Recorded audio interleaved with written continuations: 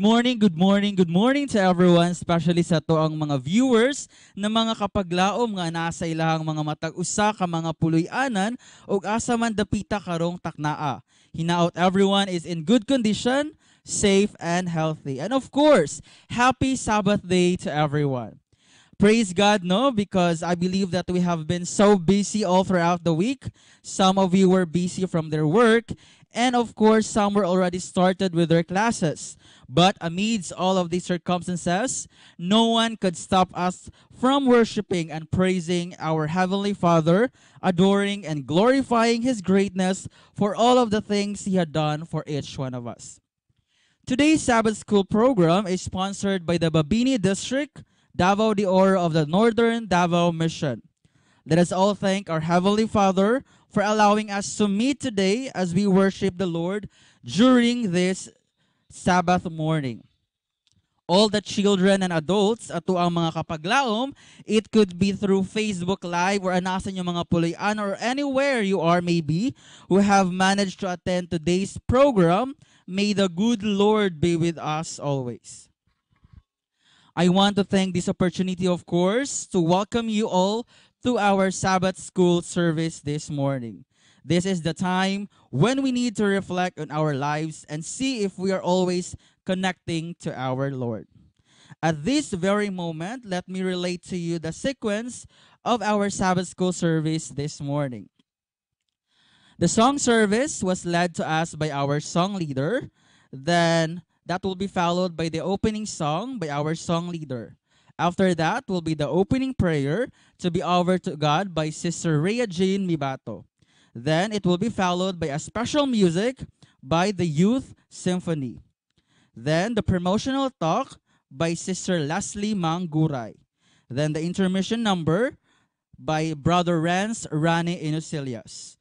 Then the Sabbath School lesson by Pastor Arnold Batbatan. Then the closing hymn by our song leader. Then the closing prayer by Brother Curvy Baruis. Our song leader for this morning is none other than Sister Jamaica Sunsona Anashon.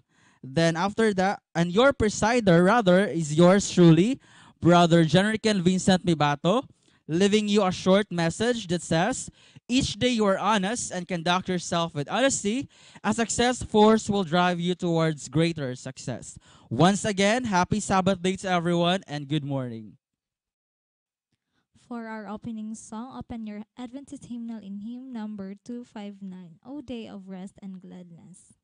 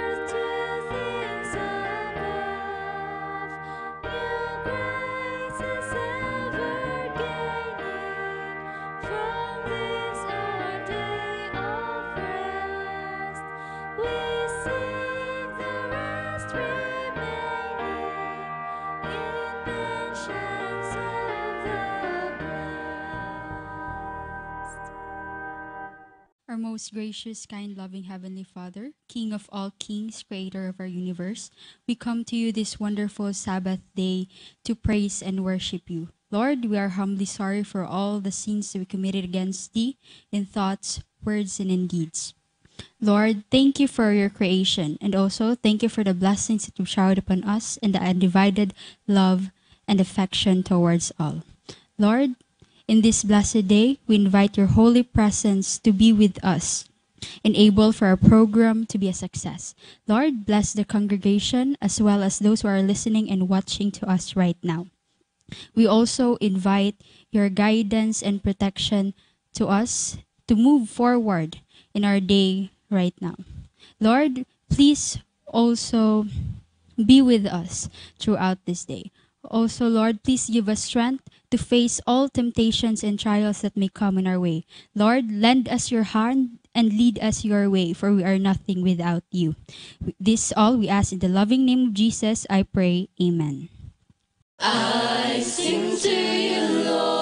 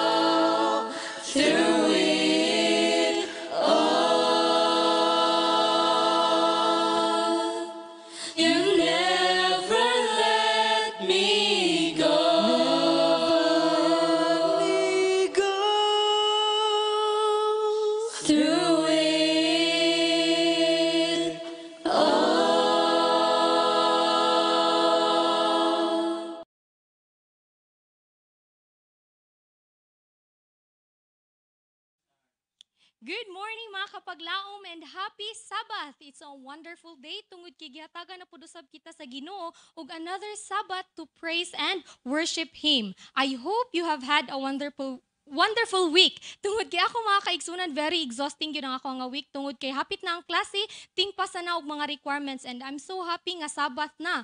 Tungod kay makarest na ko physically and mentally. And I hope kamo pud nga nagnanaw dra og naminaw dira ah, mao usab ang inyo nga gibati. So at this point of time, ako ang na-assign nga mag-promotional talk and Before di ana, magpaila-ila sa ako. My name is Leslie P. Mangguray. Okay, so my topic this morning is about Sabbath School Improvement. Karon atong pagahisgutan kung unsaon nato pag-improve sa ato ang Sabbath School. But before that, mag-ampo sa tay. Duko na to mga ulo. Our most gracious and kind, loving Heavenly Father in heaven, Lord, thank you so much for this wonderful Sabbath that you have given to us. Thank you for protecting us throughout the week, and thank you for the gift of life. Lord, as I start my promotional talk this morning, may your holy presence be with us. Give us wisdom and knowledge for, uh, for us to understand your words. Forgive us from all of our sins in thoughts, in words, and in deed. All these things we ask in the loving name of Jesus. Amen. There's a saying mga kaigsuunan nga nag-ingon, and I know you are very familiar with this. Sabbath school is the heart of the church. So nganong ginatawag man na siya heart of the church? Nganong ang Sabbath school is mao man siya ang heart of the church? So ang ato nga kasing-kasing mga kapaglaom is one of the most vital organs of the body. Nga naman, because its constant function transmit life to all body cells. Ang ato nga kasing-kasing, kanunay ni siya nagalihok, kanunay ni siya nagapump. Tungod kay ug mustap ni siya og lihok, mustap usab ang ato nga kinabuhi. So sama ra na sa ato nga Sabbath school mga kaigsuunan. Keeping the heart of the church healthy is one way to ensure the well-being of all other parts of the congregation. Kung healthy ang ato nga heart mga kaigsunan, healthy pud usab ang ubang bahin sa ato nga nga part or other parts. Now, at this point of time mga kaigsunan, aduna ko'y lima kagi-highlight nga mga pamaagi kung unsaon nato to ensure nga healthy or unsaon nato pag-improve ang ato nga Sabbath school. So dili na ta maglangan. Una nga pamaagi nga unsaon nato pag-improve ato nga Sabbath school is be on time. Most of the time mga kapaglaom madelay ang ato nga akti ma-delay ang ato nga program sa Sabbath school. Usahay makuan na ang bahin sa second service tungod kay dugay ta na human sa ato nga Sabbath school. So ngano man na?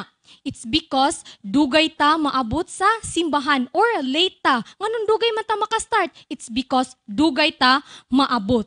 If we want others to be on time, we must set the face. So, paghisgutan na gani ining time mga kaigsuunan, ma-remember gyud na ako ang ako nga papa because he is very strict when it comes to time.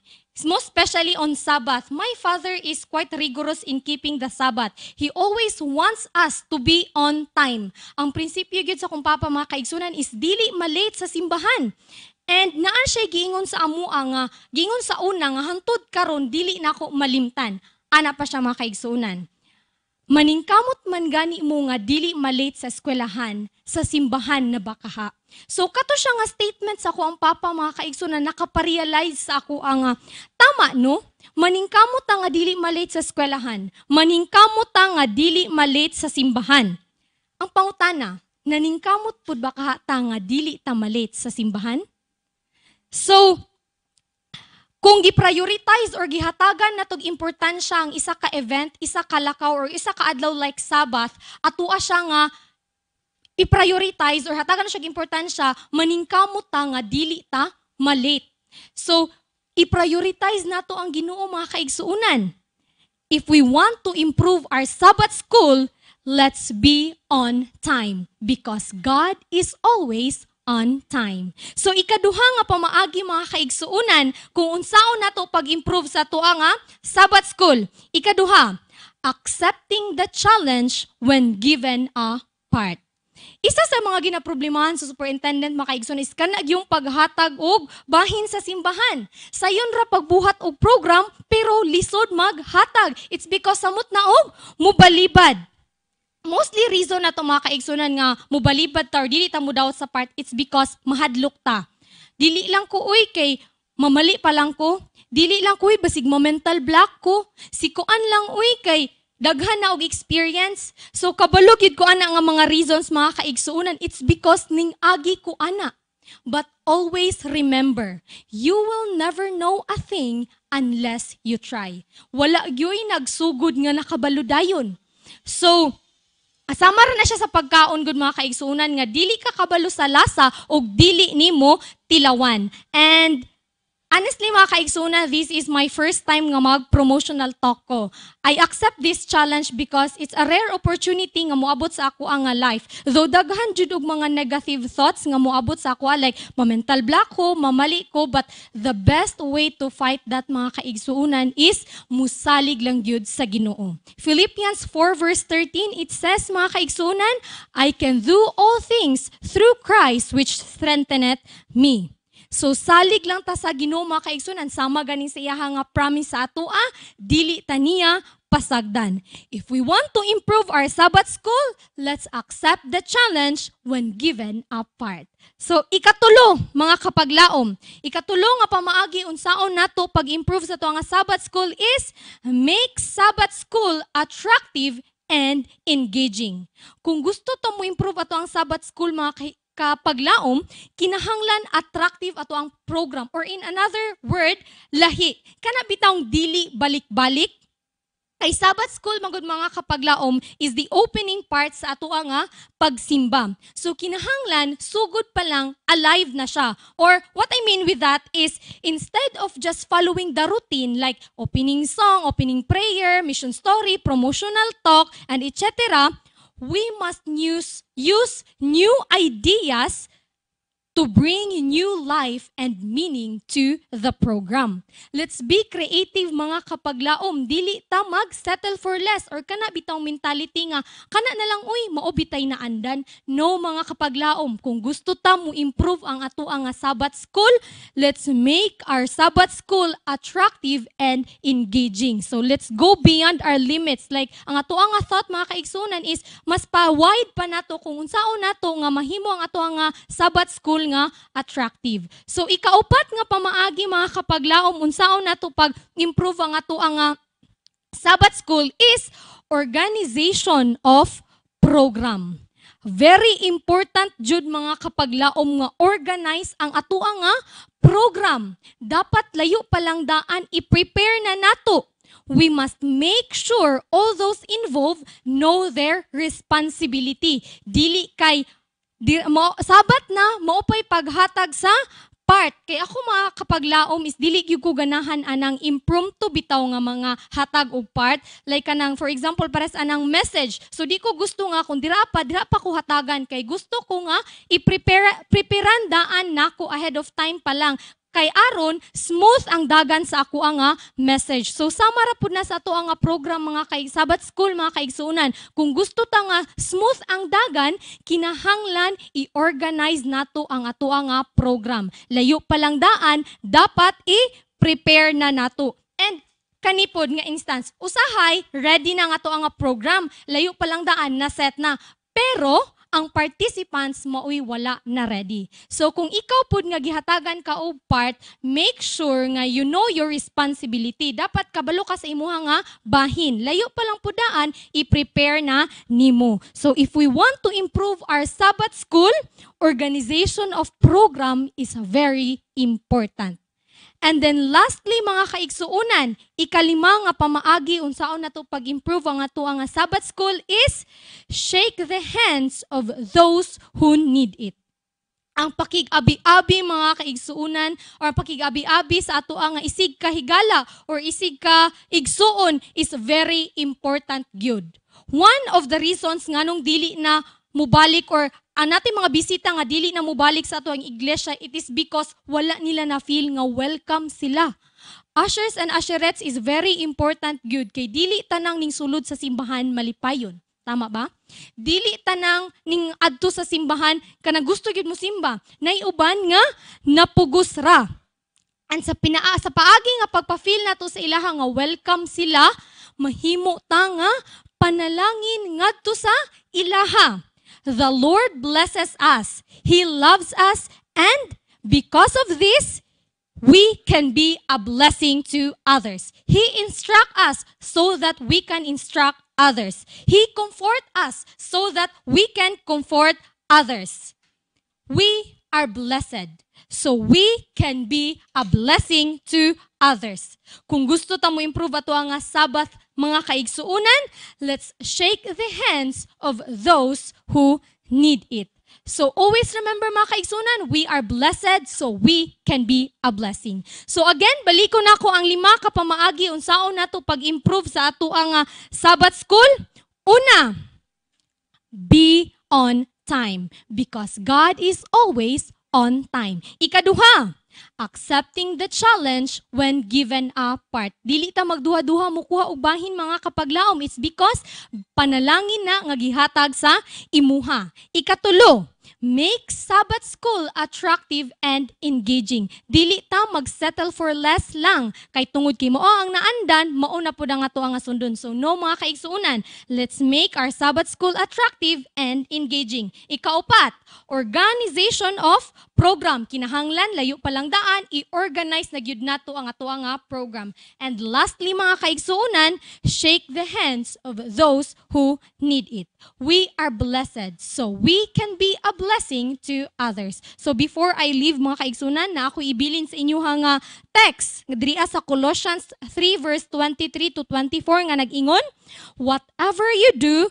do work at it with all your heart, as working for the Lord, not for the human masters. Since you know that you will receive an inheritance from the Lord as a reward. It is the Lord Christ you are serving. So, Imuo na to nga motivation mga kaigsunan, mga kapaglaom nga gibuhat nato ni dili para sa tao, kundili para sa Ginoo so that it will help us to do our work. So mo lang na og daghang salamat. This is my prayer.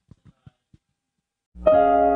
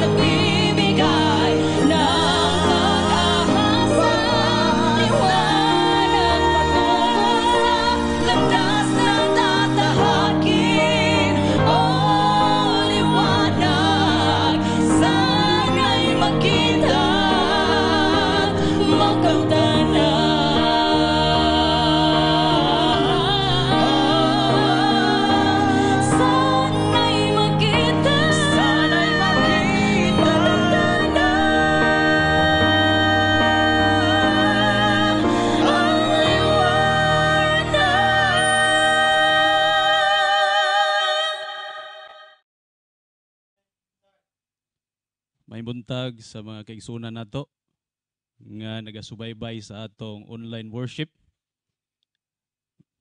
Good morning and happy Sabbath sa tanan. Labi na gayod atong ipangmusta diha ang atong mga kaigsunan sa Mabini District. Adunay mga walo na karon nga mga simbahan ang Mabini District atong ipanimbaya diha sa Mabini SD Church gipanguluhan ni ah, Brother Elnijo Villaver o kay Brother uh, Inosilias o diha sa Pindasan Church.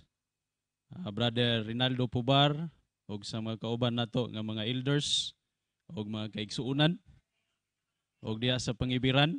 Atong gipangmusta ang nagdumala nato diha nga elder nga gi-assign gikan sa Pindasan Church si Brother Buni Sandigan sunod sa Tibagon atong gipangmusta si Brother Efrain Custodio ug sa atong mga kaigsuunan sa Magapalway Church atong leader diha si Brother Mike Malinis sa Lower Lahi si Brother Carlos Nacion sa Punguton Brother Gilbert Espinosa og si Brother Bobby Rosales ug sa mga kaigsuunan. So niini nga kabuntagon mga igsuon atong tun-an ang atong leksyon. Ang leksyon nato naguluhan siya pagtan-aw sa dili makita. Nagaingon diri sa atong memory text sa Hebrehanon kapitulo 27 o kapitulo 11 bersikulo 27 nga ingon tungod sa pagtuo siya mibiya sa Ehipto nga nahadlok sa kasuko sa hari. Kay siya milahutay man sa ingon nga nagatan-aw kaniya nga dili makita. So akong usbon ang atong memory text makita sa Hebrehanon kapitulo 11 bersikulo 27 tungod sa pagtuo siya mibiya sa Ehipto. Dili nga nahadlok sa kasuko sa hari kay siya milahutay man nga ingon nagtan-aw kaniya nga dili makita. Kung atong tan-awon mga kaigsuunan ang ato nga memory text nagpasantop sa matag usa kanato mahitungod sa pulong nga pagtuo. So ang pagtuo mao siya ang pagpakita or pagtanaw sa dili makita. Sa balaan nga kasulatan adunay mga katawhan nga nahimamat nila ang Ginoo pero dili gyud sila kakita.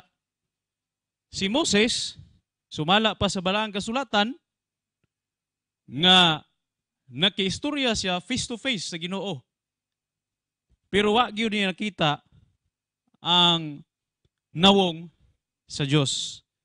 Sumala usab sa uban nga mga propeta nakadungog nila istorya nila ang Ginoo pero wa gyud sila kakita sa nawong sa Dios.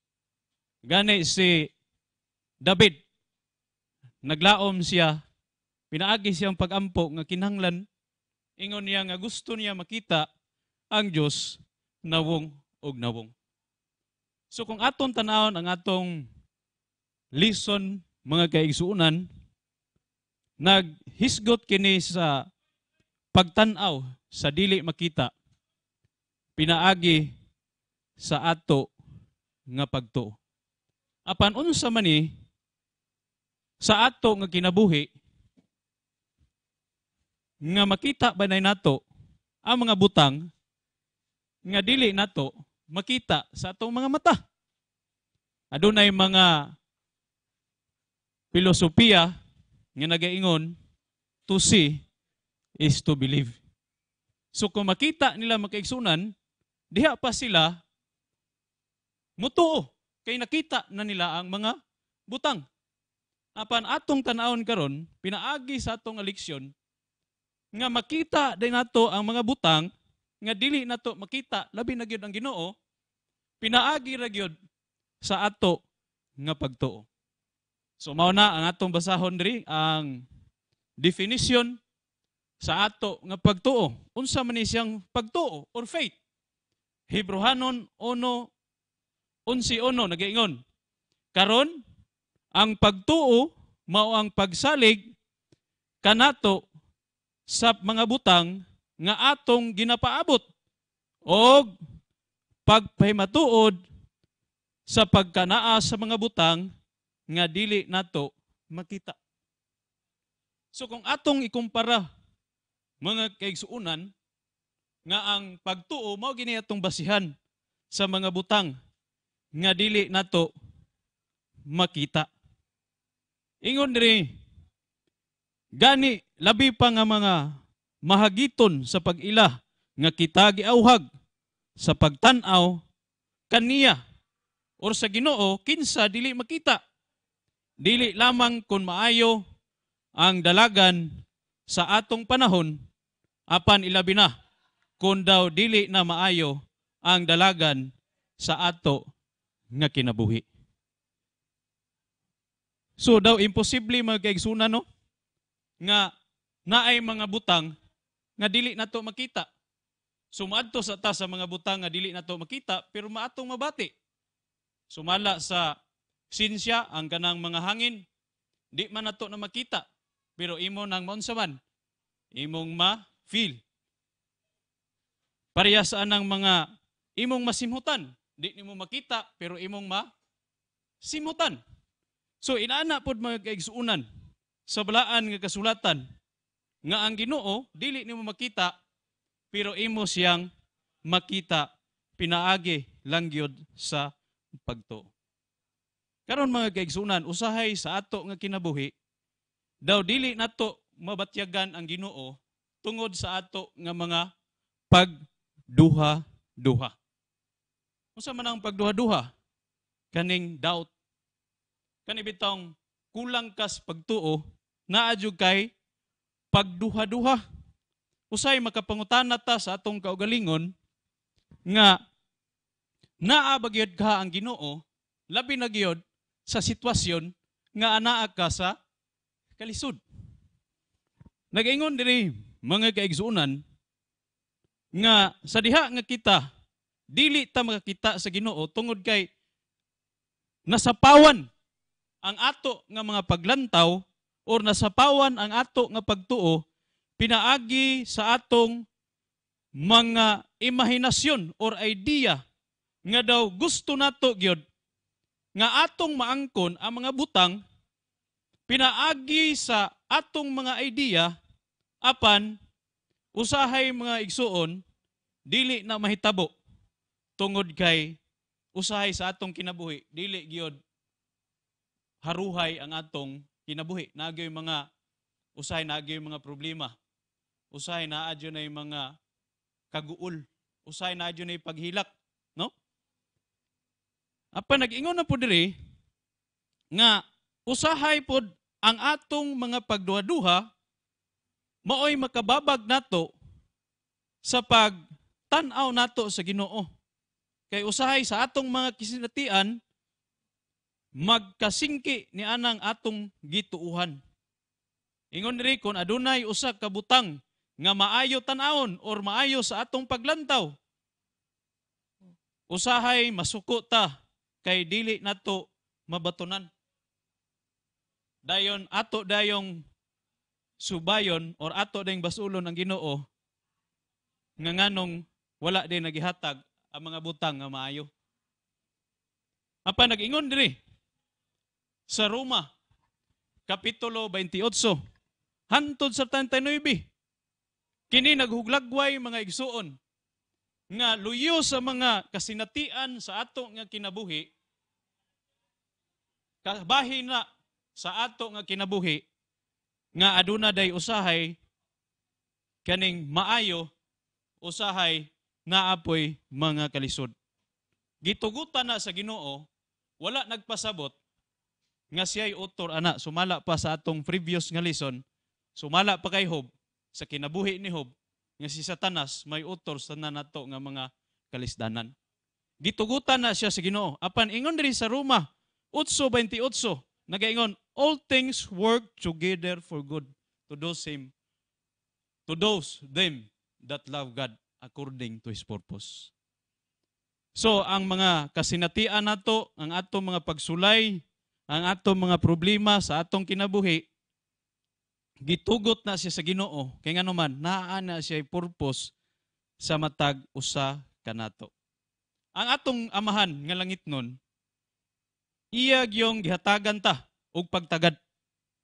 Kay ngano man, ang amahan nato nga langit nun, grabe gyud niya ang pagpangga sa matag usa kanato. No? Kaya kung atong tanawon diri sa Roma 8:32, may usa ka importante mga kaigsuonan nga dako kay katabang sa pagbantay kanto gikan sa pagkalibog sa atong mga kahimtang. Usahay sa atong kinabuhi malibog ta nga unsa man ni Ginoo. Usahay makaingon pud tag naabay gyud Dios. Magduha-duha ta sa atong kinabuhi. Kay opposite sa pagtuo mao na ang pagduha. Once nga nagduha-duha ka, nakulangan ka sa pagtuo. Pero kung dako kay imong pagtuo, wala gina ang pagduha-duha. Ingon diri kon ang Dios wala pa magalalang sa pagpalinya sa tanang mga butang alang kanato nga nagakakos sa atong kahimtang sa pagbantay pagpabantang sa iyang kaugalingon ngadto sa labing grabe pinaagi sa pagdala sa iyahang anak. Aduna ba'y lain nga iyang buhaton sa malipayon og libre alang kanato. Ang usa nga atong dapat tutukan nga dili gyud ta magduha-duha atong bantayan nga bisan gani ang iyahang anak nga si Ginoong Hesus iyang gigasto alang lang kanato mga kaigsuunan. So kinahanglan di gyud ta mag duha-duha kay ngano man kanang kalisod gipulihan na sa kalisod sa Ginoo. Gani nagpakamatay si Ginoong Hesus Kristo dito sa Kalbaryo sa krus kung ato na siyang huna-unaon.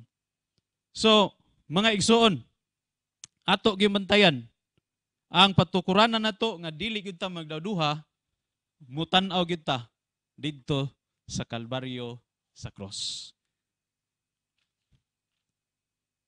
Ingon diri sa ato nga leksyon nga kung mutawag ta sa ngalan sa Ginoo andam gyud siya nga pagatubagon ang ato nga mga kinahanglan or atong gipangayo. Pinaagi sa ngalan sa atong Ginoo. So kung natay problema, natay mga pagsulay, usay normal magina siya sa atong ginabuhi nga magduha-duha gid ta. Pero asa man ta mo adto kung kita nagduha-duha sa ato nga kinabuhi. Ang usa lang yun, ato yung tawgon si Ginong Hesus sa ato nga kinabuhi. Ingon diri nga kung aduna tay pagampo sa Ginoo, usaya man god. Kanay bitang pag magampo ra ta kung natay kalisod pero nindot po na siya magkaigsunan. Kay pinaagi sa pagampo matabangan ta. Kay ang atong kinabuhi wa gyud nay mabuhat kung wala gyud ang Ginoo.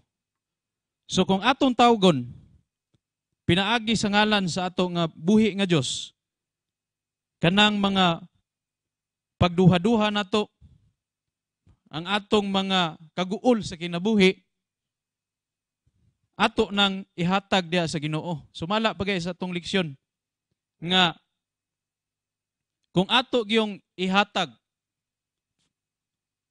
ang atong mga kakapoy ang atong mga kabalaka ingon diha sa 1 Peter 5:7 nga cast all your cares upon him for he cares for you. So, kana siya mga kaigsuunan. Kung mutawag ta sa ngalan sa Ginoo pinaagi sa ato mga pagampo. matagaan yung sulbad ang ato mga pagduha-duha. Kung magduha-duha ta, kalimot na ta sa pagtawag sa ngalan sa Ginoo. Napay giingon diri nga panultion nga why we pray when we can worry. So murag gibaliktad mga kaigsuonan no? Nga when you when you are worry, pray, no? Giingon diha mga kaigsuonan. Nga kinahanglan atong tawgon ang Ginoo pinagi sa atong pagampo.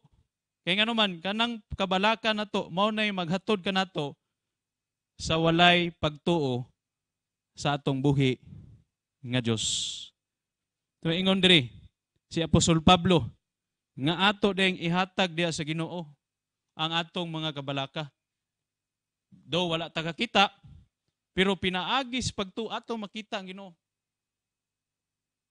Na ko'y ihatag ninyo nga istorya mga kaigsuunan nga adunay amahan o isa niya ka anak nagpuyo sila sa usa ka balay. Wa naman siya asawa, nalalan siya isa ka anak, nagpuyo sila sa ilahang balay. Og sa diha, mga igsoon, gwapo kay ilang balay, na dos andanas, ang ilahang balay, gwapo kayo. Pero sa usa ka higayon, usa ka gabi, wa jud sila kabalo nga nasunog ang ilang balay. Nakabalo na lang sila, nakamata na lang sila kay maglisod na sila ginhawa. Kaya nga naman tungod sa aso. Diha-diha ang papa nakamata. Unya, ning sutoy siya og kanaog. Wa niya nabantayan, nga iyang anak day nabilin didto sa ibabaw, kay didto man sila natulog sa ibabaw. So sa diha na nga iyang nahimduman, uy, naaman ko'y anak nga tuwa sa, lang, sa ano, sa ibabaw. Karon magaigsunan na balaka na siya. Iyang gitawag ang iyang anak. Nganak, asa naman ka basig masunog ka. Pero kani ang iyang anak nakamatapod. Pag mata niya, iya din gipakita, gipangita ang iyang daddy. Ingon siya, Daddy, where are you? Niya di naman makadungog kay tuwa naman si ilalom, tuwa na sa gawas. Para madunggan siya, niadto siya sa bintana niya pag adto niya sa bintana mga igsuon dili niya makita ang palibot tungod kay sa aso kusog naman kayong aso. Nisinggit na siya daddy where are you? Ug sa diha nga pagsinggit niya nadunggan sa amahan. Nga iyang bata naa sa ibabaw. Unya naa dito sa bintana. Apan ang problema kay di na makanaog tungod kay ang nagsugod ang kalayo naa diya sa ubos. Mao na'y problema nila mga igsoon. Ug ang bata balaka na kay siya unsaon niya kay gusto unta siya moambak pero basig masangit siya o lahi iyang mambakan mamatay noon siya. Nisinggit na lang siya luwas ako, daddy. Og sa diha-diha kay ang iyang daddy sa usa ka higayon nakakita man gyud siya ang iyang anak tuagid sa bintana pero ang iyang bata, wa jud nakakita. Niingon na lang iyang daddy nga, Nak, para maluwas ka diha, ambak na lang. Jump! I will catch you. Sa diha ang bata ningon siya, unsaon ako pag ambak nga di man ta ka makita, unsaon man. Pero iyang amahan, salig na kay ako nakakita nimo. Bisan ka wala ka nakita nako. Og sa diha dayon mga igsuon, ang maong bata nituman siyang amahan nga moambak yod bisag wa joy nakita. Wa joy nakita niya ang iyang amahan.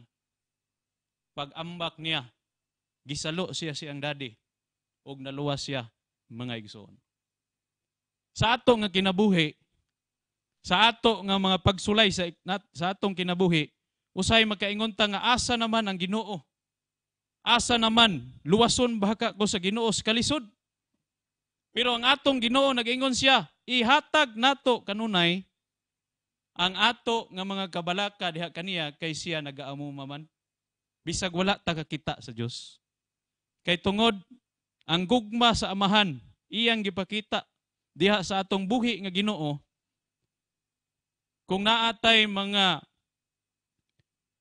pagsulay sa atong kinabuhi kinahanglan musalig gyud ta sa Ginoo do wala ta kakita kinahanglan atong batunan ang pagtuo tungod kay ang atong buhi nga Ginoo gamhanan man siya sa tanan nga mga butang. Siya pinakadako mga kaigsuunan. Siya dako pa sa problema nato dako pa sa atong sitwasyon. Mabitaw na kana bitawng barko. Bisag unsa ka dako sa barko dako gyud dagat mga igsoon di ba? Makita kag barko karon nga dagko na kayo pero dako man gyud ang dagat. But pasabot kung bisag unsa ka dako sa imong problema mas dako gyud ang Ginoo mao na ang atong batunan kanunay mga kaigsuunan Ingon pa gyud sa atong eleksyon. Nga kinahanglan magpabilin ta nga matinumanon. Bisan pa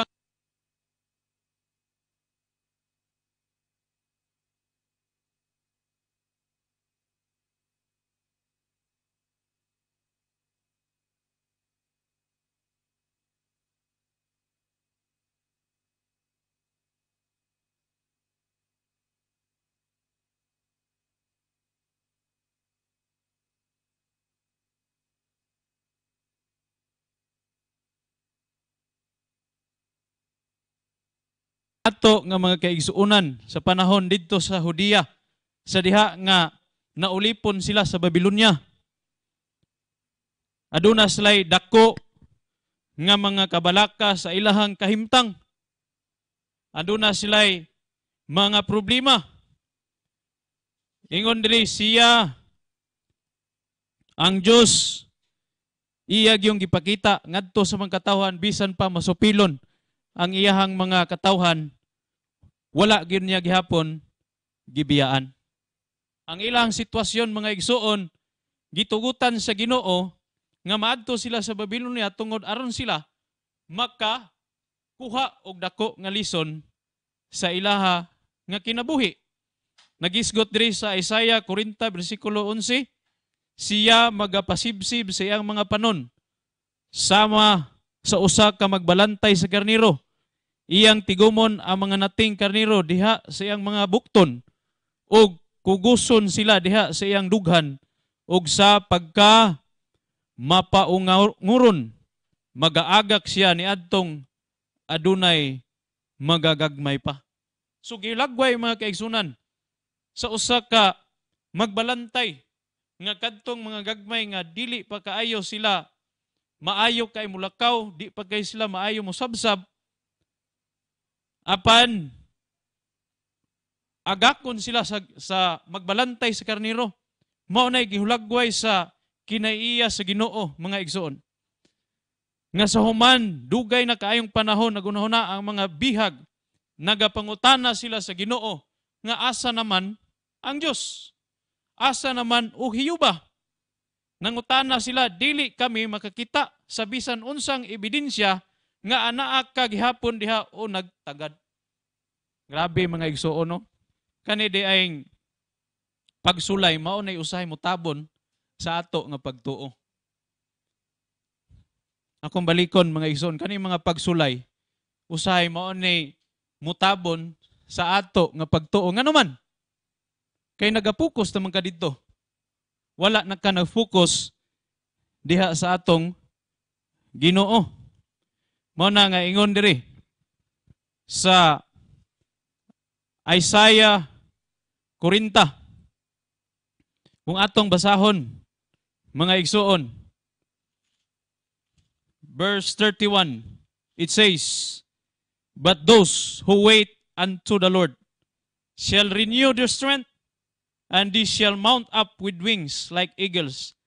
They shall run and not be weary, and shall walk and not be faint. Mao ni siya'y tubag sa ilahang mga pangutana nga dili sila makita sa Ginoo. Apan pinaagi lang gyud sa buhi nga paglaom nga sila magapaabot nga sila luwason sa Ginoo, makakaplag sila kusog sama sa kusog sa agila. Bisan pa sila managan apan dili gyud sila mapukan. Bisan pa sila magalakaw, apan dili sila magaluya. Kung naa tay pagtuo, bisan pa man sa atong kalisod sa atong kinabuhi mga igsuon, mao nay maghatag kanatog kusog sa matag adlaw. Mao nay sikreto nga dapat nato batunan mga igsuon.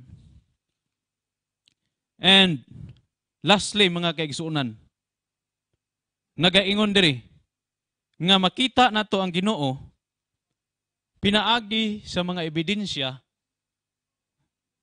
pinaagi sa atong mga eksperyensya nga naagian. Kung mulihok gaya ang Ginoo sa atong kinabuhi ug ang atong pagtuo mga igsuon nagatubo na siya nan makita na to, masiguro na to nga grabe gyud ang Dios mutagad sa ato nga kinabuhi. Ingon diri sa Testimonies for the Church, Volume 3, page 555, nagaingon, ang pagtuo mutubo sa kalig-on pinaagi sa pagduol sa pakig-away sa mga pagduha-duha o sa nagasupak nga mga impluensya. Kana day ang atong pagtuo mutubo na siya kung atong labanan, kung atong pakiglambisugan ang ato nga pagduha-duha. Ingon bitaw diya sa James nga ang adunay pagduha-duha mura siya kaning walay kapuslanan mga kaigsunan. Ingon pa diri ang kasinatian nga maangkon niini nga mga pagsulay labi, labaw ug bili kaysa kinamahalan nga mga mutya. So kung dako gyud atong pagtuo atong masulayan or atong madaog ang mga pagsulay sa ato nga kinabuhi kay ngano kung ang kadaugan atong maangkon mas labaw pa nga ikaw nakadawat og ganti sa imuhang kinabuhi. Mga igsoon, daghan na kayo nga mga ebidensya nga nakita nato sa atong kinabuhi nga ang Dios magtatagad. Ang Dios aduna siya dako nga gugma. Ang Dios nagaamuma siya. Ang Dios nagatan-aw gyud kanato mo na nga dili gyud nato walaon ang ato nga pagtuo, pagtuo diha kaniya. Kay pinaagi sa atong pagtuo makita nato ang atong Ginoo. Usab si Moses. Gisulayan siya sa Ginoo. Nga pinaagi siya ang pagtuo nga gitagaan siya taha sa Dios. Iyang gibiyaan ang Ehipto. Dili kay nahadlok siya sa hari kundili iyang nakita ang mga butang nga mga langit nun. Wala niya gibalyo ang mga butang nga mga kalibutanhon mga igsoon. So mauna nga pinaagi si ang pagtuo iyang nakita ang butang nga mga umalabot. Labi na gyud ang buhi nga Dios sa dili madugay mga kaigsuunan kani atong pagtuo mo ni maghatod kanato nga kita makakita gyud sa kadugayan sa atong buhi nga Dios sa iyaha nga pagbalik. Dili nato walaon ang atong pagtuo kay kini mao ni magalig-on sa atong kinabuhi. Kung aduna kitay pagduha-duha sa atong kinabuhi mao na siya'y magaguba sa ato nga kinabuhi. Daghan kong mga eksperyensya mga igsuon sa diha nga nagkanbas ko. Usahay makaingon ta sa akong kaugalingon nga wa naman siguro Ginoong kay ngano man. Wala man siguro nagamuma. Pero kung muluhod lang ka mga kaigsunan ampo lang ka sa Ginoo. Imong bation nga sa imong pagkawala sa imong pagpaubos imo gyud ang bation diha sa Ginoo. Muluhod jud ka sa Ginoo. Tagaan ka. Og mga butang nga angay nimo nga pangayoon. Ay lang gyud pagduha-duha. Kay kana mo kung pagduha mao na siya tawag nga mga negative nga mga bagay. Sumala pa sa psychology nga kung unsa imong nahuna, kung dili na siya pagtuo, kung nagduha-duha ka, ang resulta ana, pagduha-duha na lang gyud tanan.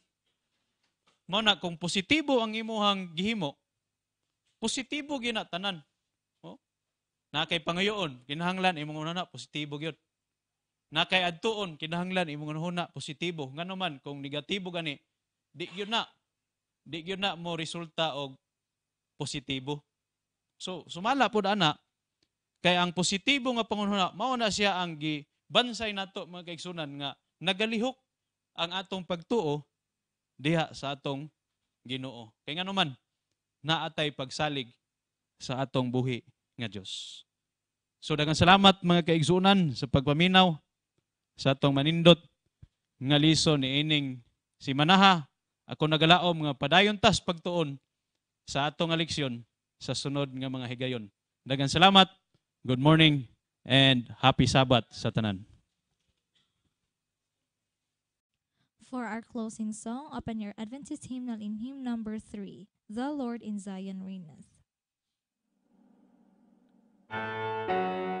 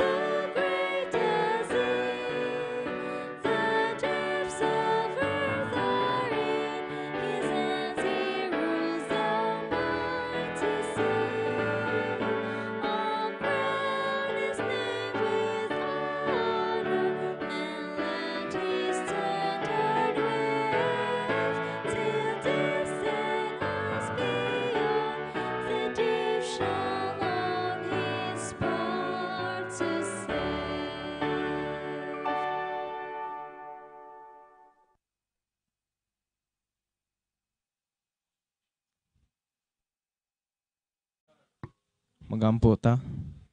O Diyos sa balaan diha sa karian sa katasan, ikaw ang gipasalamatan Ginoo sa programa na nahuman Ginoo. Ikaw ang gipasalamatan Ginoo sa tibok simana Ginoo na nakaabot mi ang adlaw Lord. Nangay migtabang Ginoo sa sunod na programa na mahitabo Ginoo. Ikaw magiya Ginoo sa mga tao, mga participants Ginoo. Tabangin sila Ginoo, lawakay lang pag-isip. Dahang salamat sa tanan sa ngalan Ginoong sa Kristo sa namuluwas. Amen.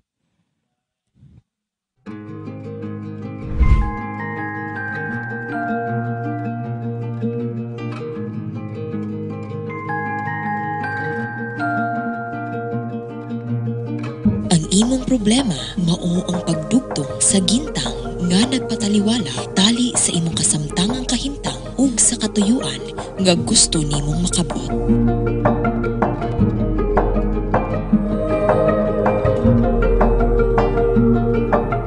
Dinhi makita ang pagkamahinungdanon sa tulay ug kung unsa kini makatabang sa usa ka tawo sa diha moagi kini sa lisod nga yugto sa atong kinabuhi. Ang tulay usa ka agianan nga maghatag og giya ug direksyon nga magdasig kanato sa pagtikang padulong sa kinabuhi nga puno sa kahayag ug kadagayag. Ang tawo nga migawas gikan sa mangitngit nga kahimtang makasinati og usa ka bugos nga bag-ong pagkatawo nga mibangon og mitabo alang sa usa ka mas hayag nga kalibutan. Ang tulay mao ang nagahatag kanimo og kahigayunan sa pag-atubang sa mga hagit sa imong kinabuhi.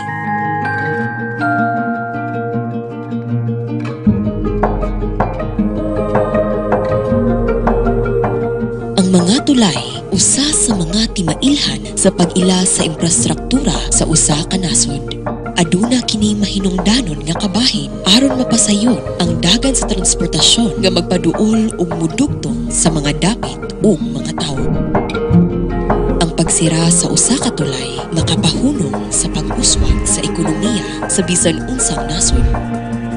Ang mga serbisyo nga wala na magamit mahimo rang makumpleto sa tabang niini.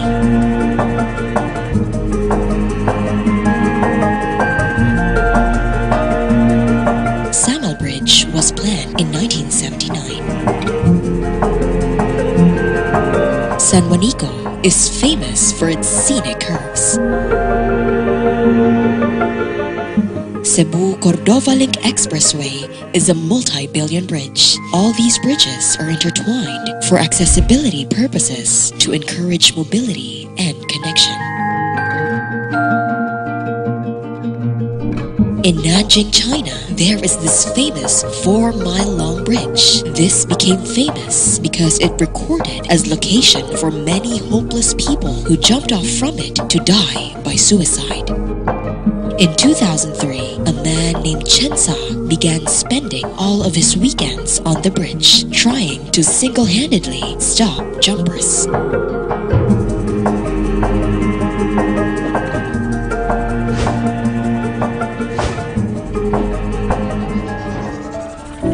Alang sa atong mga kaigsuunan sa sakop sa Northern Davao Mission. Amo kamo nga gipaabtan sa usa ka mainiton nga pang pangmusta. Ilabi na sa atong uh, mapinadayunon nga pagsuportar sa atong gambalay dinhi sa Northern Davao Mission. Ingon nga moy ato nga proyekto o nasayod ta nga dili to kini siya literal nga tulay apan kini mahimong usa ka tulay alang sa espirituhanon nga pag-amuma sa atong mga kaigsuunan o mayroon sa usa kini katulay alang sa pag-ayo nga atong mga nagamasakiton o bisan pa man usab tulay diha sa panaghiusa. Sa atong nga nasayanan ug nahibaluan si Ginoong Hesus mianhin ni nga kalibutan ug nahimo sab siyang tulay. Tulay ngadto sa mga makakasala aron nga sila mga luwas sa ilang nakahimtang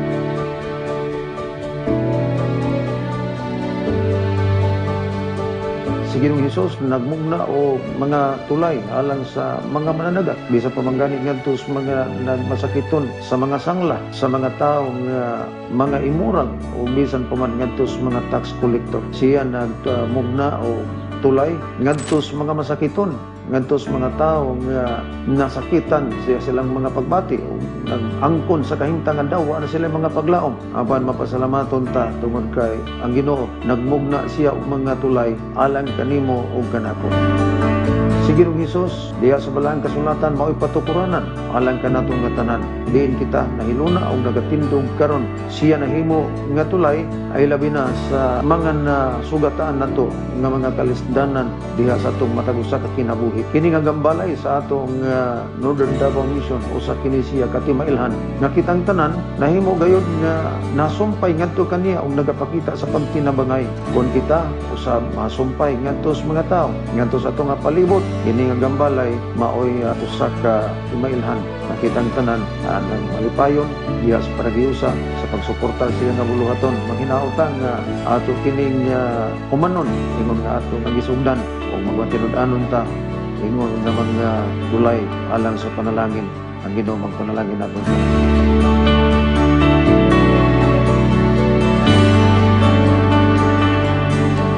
Inay nga mututok sa mga babag sa imong agianan, kita gidasig nga ipunting ang atong hunahuna ngadto sa tulay nga mag-aga kanato sa kahayag ug katumanan sa atong mga handom. Kini nga proyekto atua kining gambalay. Mga kaindim, mag-uban kita sa pagsuporta. Mag-uban kita sa pagsuporta. Mag-uban kita sa pagsuporta. Sama sa tulay, mao kini ang agianan sa pagpakusog sa buhat.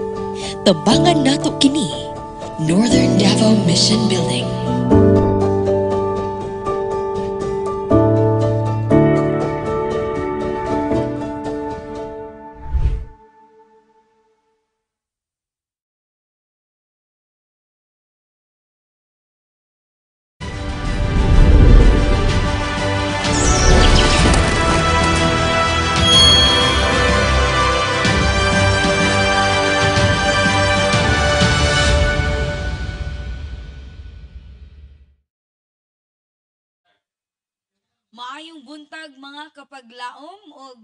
Dalaygo ng Dios dining adlaw nga igpapahulay nga iyang gihatag kanato niining nga um, adlaw nga Sabado. Ug karon mga kapaglaom no we would like to welcome all of you sa ato ang culmination sa atong series nga giuluhan Encounter with Christ. So karon mga kapaglaom kung kamo naminaw din sa inyo nga mga panimalay or kung diin man kamo karon nahimutang ayaw mong kalimot sa pag-share nini ato ang ah, ah, live streaming o pag-comment sa inyo nga gusto i-comment o amo jud ka na ngan malipayon nga dawaton diini nga atong um, pagabuhaton nga culmination. Apan sa dili pa ta adto sa unahan mga kapaglaom ato sang ah, ipanimbaya ug ato ang hatagan sa atong dako nga pahiyom ang ato nga mga um, NDM officials. Starting with, we have our president, Pastor Satuan, and we also have our executive secretary, Pastor Jasper Love Panuncio, and our um, treasurer, Brother Lloyd Chinido, and also our communications director, Pastor M. Vladimir Ondalok. So, we hope and pray mga kapaglaom no na sa kanunay mo support lamang kita sa ato ang ah, um, ginapahigayon nga mga series matagabi ug karon samtang ato kini culminate may we feel the presence of the Lord and we would able to receive the blessing this holy Sabbath day. God bless mga kapaglaom. Mahimuntag kaning tanan mga kaigsunan kun kam nga kapaglaom. Happy Sabbath tanan labi na sa mga sakop sa NDM mission. Og labi na gyud sa tibuok Pilipinas, makita kamong tanan sa ato ang ah, ah, TV o bin bisan pa sa abroad mga kaigsunan, happy Sabbath kaniyong tanan mga kapaglaom. Og niata karon sa ato ang divine service. Og happy Sabbath sa tanan. Ang ato ang programa ah pagasugdan sa diha nga ato ang inspiration gisugdan sa ato ang chorister. Og dayon masunod na ang Sabbath hymn. We love thy Sabbath Lord og masunod giliayon ang meditation sa ah grupo nga mag-alawit nga Heaven's Eyes. Maniana ang introit nga pagdumala sa atong chorus to Oh the glory of your presence o dayon masunod ang hymn of adoration o worship the King. Galayon ang ato ang speaker sa iyang hamubo nga invocation. O gumaniana ang ato ang ah, intercessory prayer mo sunod nga pagkanuman ni Pastor Arnold Watbatan o gihangyo ang tanan nga adunay mga lulan sa kinabuhi labi na atong adunay mga balatian. Diha sa congregation bisan pa sa matagusan nato kapanimalay atong hangyo ng Dios nga tangtangan ta sa ato ang mga nagkalalay mga lulan. Balatian ba? O mga stress nga gipang bati? O mga problema sa ato ang kinabuhi? Atong isang at nga sa atong Ginoo. O atong paampuan ni Pastor Arnold Batbatan. Kumanyana ang stewardship thought nga pagadumanan ni Brother Femert Pakatan. Usa sa ato ang stewardship leader sa Mabini Church. O dayon ang pagkuha sa ato ang mga tithes and offerings.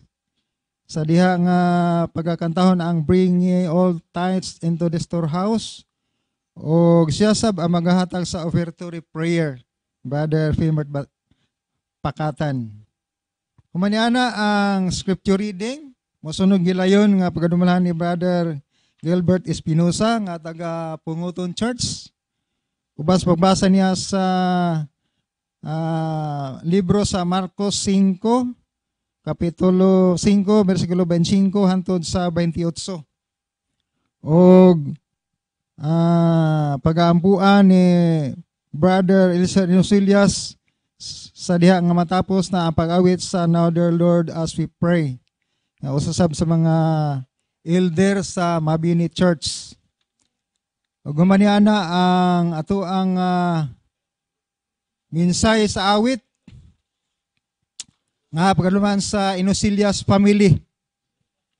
O guman sa minsay sa awit, musunog gilay na ang minsay sa pulong nga pagkadumala ni Pastor Esmeraldo Cantila.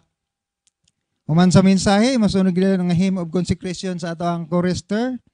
Ugrayin ang hamubo nga benediction sa ato ang speaker. Human na ang response sa audience nga amin. O musunod gilay ang song of hope. We have this hope.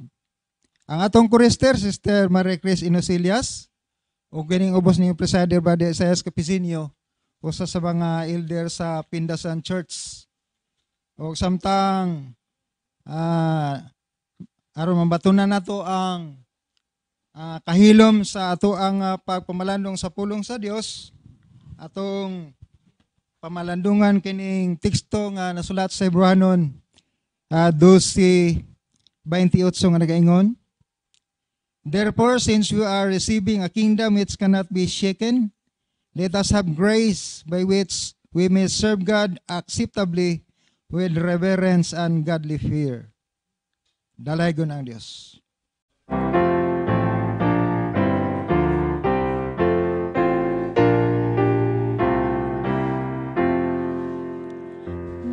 We love thy Sabbath,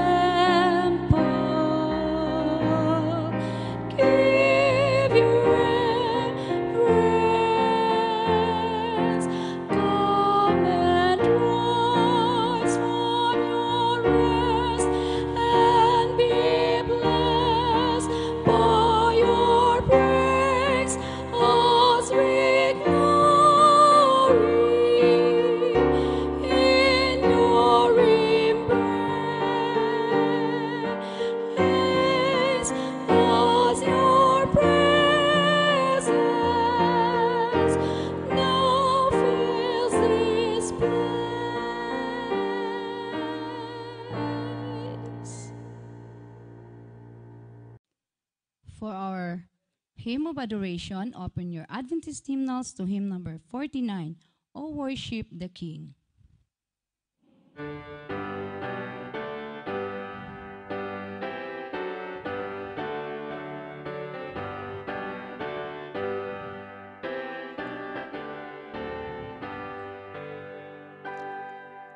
Worship the King, gratefully sing His wonderful love, our shield and defender, the ancient of days, pavilion in splendor and girded with praise. Oh, tell of his might, oh, sing of his grace, whose robe is the light, has gone up his face. His chariots of wrath the deep, dark clouds form, and dark is the path on the wings of the storm. Thy bountiful care, what tongue can recite? It words in the air, it shines in the light. It rains from the hills, it descends from the plain, and sweetly distills in the dew and the rain. Frail children of dust and frivolous friend, in thee do we trust, nor find it to fail. Thy mercies are tender, are firm to the end, our Maker, Defender, Redeemer, and Friend. Langit noon og balaan nga Dios, dalaygon ikaw tungod kay ikaw maayo kaayo sa among kinabuhi. Ilabi na gyud Ginoo nga imo nasab kami gitagaan og lahi nga oportunidad nga makasimba kanimo nining adlaw ipapahulay. Magasimba kanimo, magapaminaw sa mga pulong. Bisan pa dinhi sa virtual nga pamaagi sa pagsimba Ginoo ang imo mga pulong mapaabot sa bisan asa nga dapit. Karon nga takna among gihangyo ang lang espiritu magagiyas matag usa ka namo sa among makaigsunan nga naa karon silang tagstag sa mga palimalay ug bisan pa ang tanan mga alagad nimo Ginoo nga anaa karon sa mga simbahan usaha kami sa imong panalangin. Tuguti ang lang espiritu mo patilwala kanamo samtang magatuon kami sa mga pulong ug ablihi mga unahuna og kasing-kasing aron nga kini mga pulong adunay luna nga makapuyo ug adunay epekto sa among kinabuhi samtang nagaalagad kanimo. Dalay ko ikaw Ginoo. Salamat sa imong pagdungog sa among mga pagampo. Amo kini gisaling ang tanang madawat pinagi sa ngalan ni Hesus nga among manluluwas. Amen. Happy Sabat mga kaigsuunan. O yan nakita karon sa atong pinasahe nga pagampo.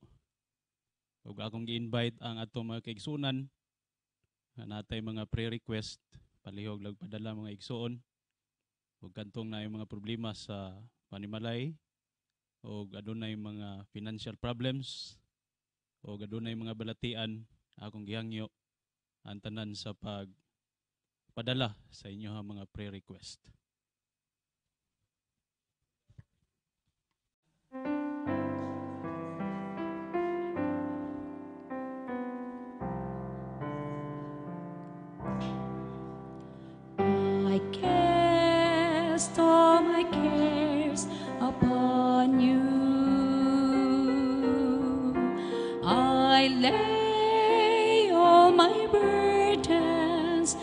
down at your feet. And every time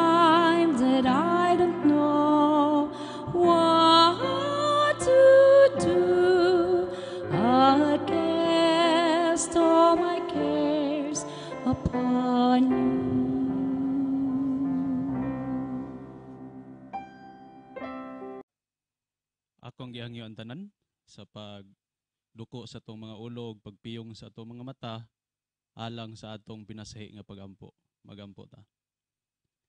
Among amahan nga langit nun nintak na sa adlang ipapahulay. Ikaw among gipasalamatan sa imuhang kamaayo nga imong gihatag sa matagos kanamo ug among iuli ang dungog himaya katakos kagahom tungod kay ikaw naglalang sa matagos kanamo. Ug ninintak naa, unas tanan, ikaw magapasaylo sa among mga kalapasan. Aron among mga pagampo, imong pagadunggon, ug mosaka kini diha sa trono sa grasya. Ninintak naa Ginoo, sa among kagalingon wala kami mabuhat. Kami nagasalig diha kanimo. So busa ang among mga paghangyo imong pagatubagon pinaagi sa imong kabubuton. Adunay mga kaigsuunan nato nga nahiagom sa mga balatian ikaw among hangyoon ikaw magahikap diha kanila nga sila makaangkon sa kaayuhan. Adunay mga kaigsuunan nga anaa diha sa kalisod sa kinabuhi apan wa gyud sila dangpan gawas lamang diha kanimo. Aduna usab nga mga kaigsuunan nga adunay mga problema adunay mga lulan sa kinabuhi adunay mga kapakyasan nga gusto nila diha dalon sa imong tabangan busay ikaw mong gihangyo nga ikaw mag ah, tubag ni inyong tanan. Tungod kay ikaw nagasaad kung kami mutawag sa imong halandungalan, ikaw magatubag niini. Lao man na mo Ginoo nga sa tanan namo nga pangabudlay dili makawang tungod kay kami nasayod nga ikaw usab naga-provide sa matag usa. Daghang salamat Ginoo nga ikaw nagahatag kanamo og kagawasan sa pagsimba diha kanimo. Ikaw usab nagahatag o grasya kaluoy sa matag adlaw nga sa diin imo kaming gihatagan og kaluwasan nga daw ang among kaugalingon wala na value apan ikaw naghatag niini o kasiguruhan tungod kay ikaw imong gipakita ang imong dakong gugma sa matag usa kanamo lao man namo Ginoo nga sa tanan namong gihangyo diha kanimo ikaw magapanalangin sa matag usa. Salamat Ginoo sa imong dakong grasya ug kaluoy. Salamat sa pagtubag sa among mga pag-ampo. Sa ngalan ni Ginisos nga among manluluwas. Amen. Sa dili pa nato pag uh, nato mga halad o ikapulo ato sang pamalandungan ang basahon alang sa pagkuha sa halad o ikapulo. Naguluhan kini ang mga halad kusog musulti. Ang Exodus 29:1 nagaingon, "Og kini mao ang pagabuhaton mo kanila aron sa pagbalaan mo kanila aron sila magaalagad kanako sa katungdanan sa pagkasaserdote."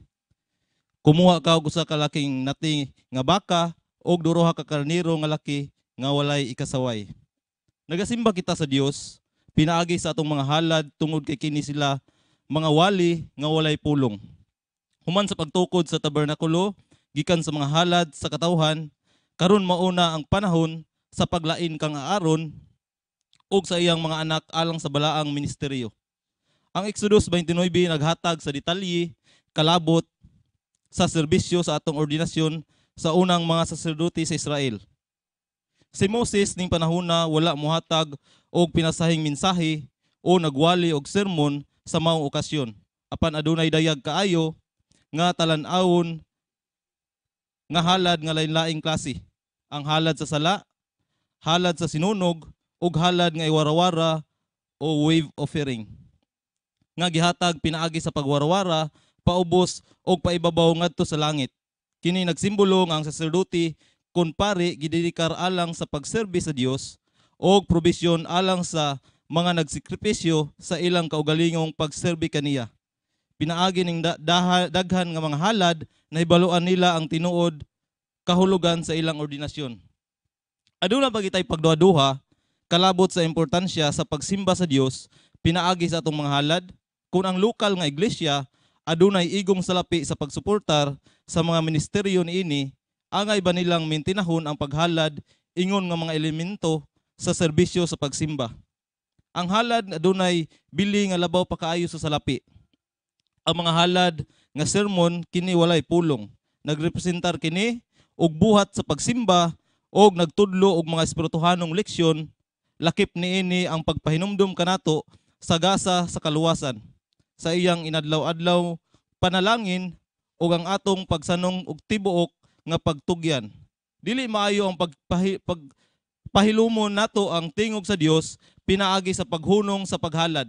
Ning semanaha samtang kita magsimba pinaagi sa ato ikapulo og regular nga mga halad ginatawag og saad patalinghugan ta ang Dios patalinghugan ta ang tingog sa Dios. Ang atong mga diakono andam na sa pagkuha sa atong mga halad ug ikapulo. Atong kuhaon atong mga halad ug ikapulo.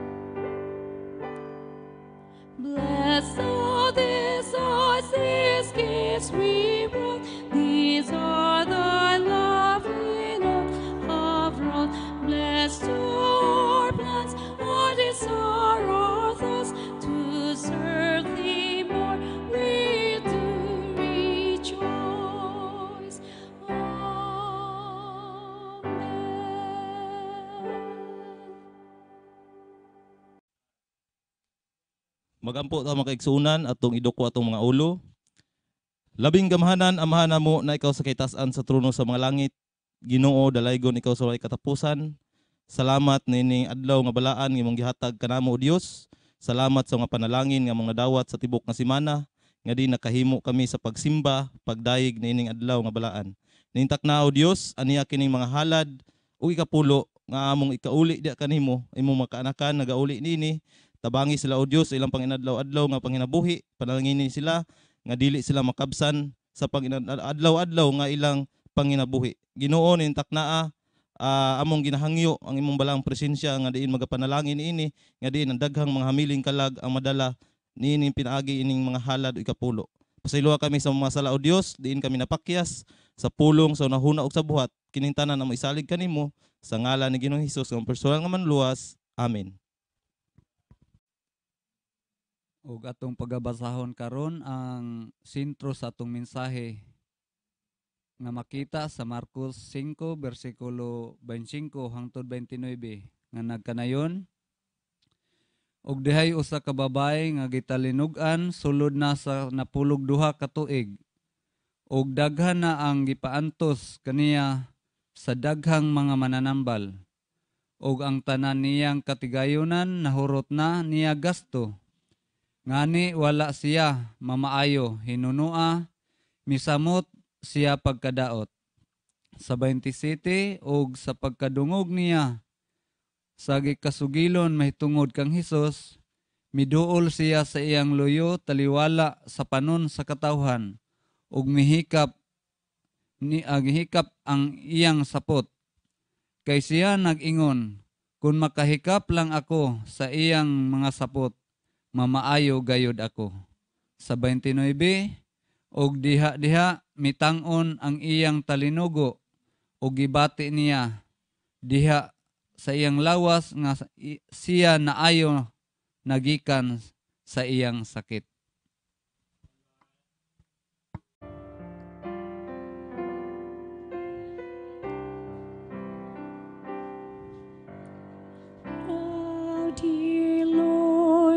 As we pray, take our hearts and minds far away from the prayers of the world all around. To your throne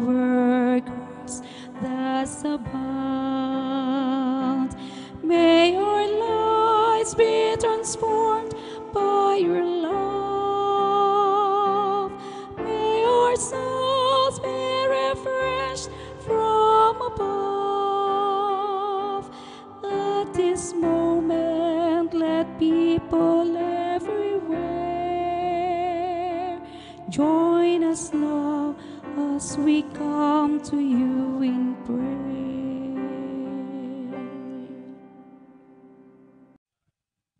Ako ang gihangyo ang tanan sa pagduko sa tong mga ulo alang sa ato ang pagampo. Dalaygon og mahigumaw ng mga Dios nga naka sa trono sa mga langit. Nini nga takna ka, Ginoo kami nagaduol diha sa imong trono sa grasya. Nagahangyo una sa tanan imo kaming hinluan sa tanang dagta sa amo nga pagka makasasala. Pasayloa kami Ginoo sa tanang mga sala nga among nahimo. Hinaot nga imo kami hugasan sa dugo nga imong giula dito sa Kalbaryo sa cross. Aron ang among mga ngalan may sulat diha sa basahon sa kinabuhi. Niningatak na Ginoo samtang kami magapatalinghog sa imong mensahe pinagi sa imong alagad. Naghangyo mi nga imong ablihan ang amo nga mga kasing-kasing gunahuna nga ang mga mensahe nga among madunggan may tisok sa among mga kasing-kasing nga diin magtabang namo sa pagkinabuhi nga uyon diha sa imong kabuton. Panalangini ang among magsusulti. Dihuga siya sa balang espiritu nga siya magasulti dili lamang siyang kauglingon nga pinulungan kundi mando diha kanimo. Aron ang mga pulong nga amo mabatnan karon amo kinibalunon sa matag adlaw na mapagkinabuhi nga magkinabuhi kami nga makapahimuot diha kanimo. Salamat Ginoo nga imong dunggon ang among pagampo kay kining tanan among isalig pinigil sa ngalan ni Jesus nga manluwas. Amen.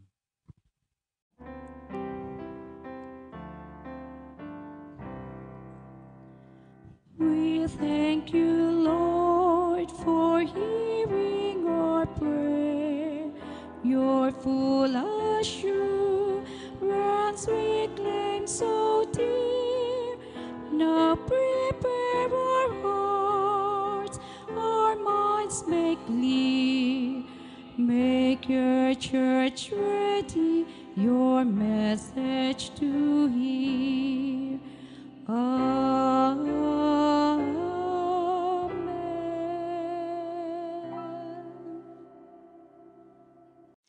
Jesus is my music. Jesus is my song. Jesus is my music. I want to sing his praises all day long. Jesus is my music.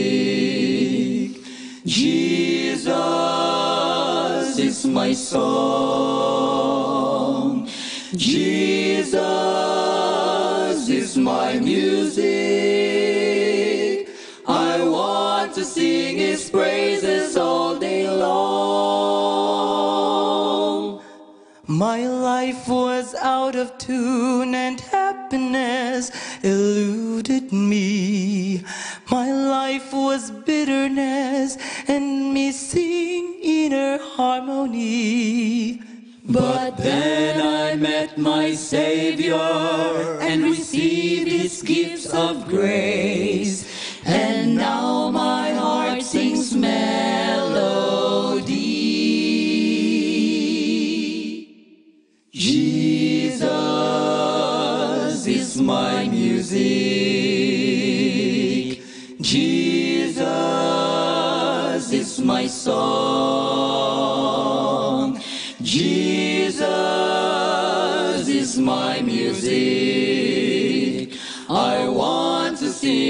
Praises all day long. Jesus is my music.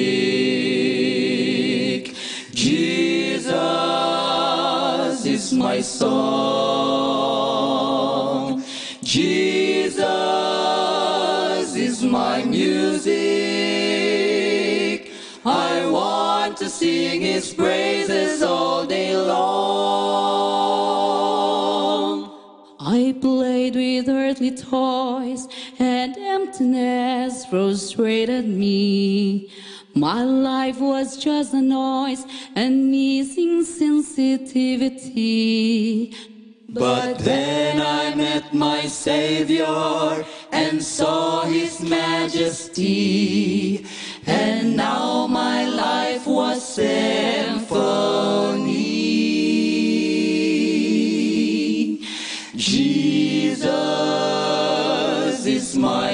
Music. Jesus is my song. Jesus is my music. I want to sing his praises all day long. Jesus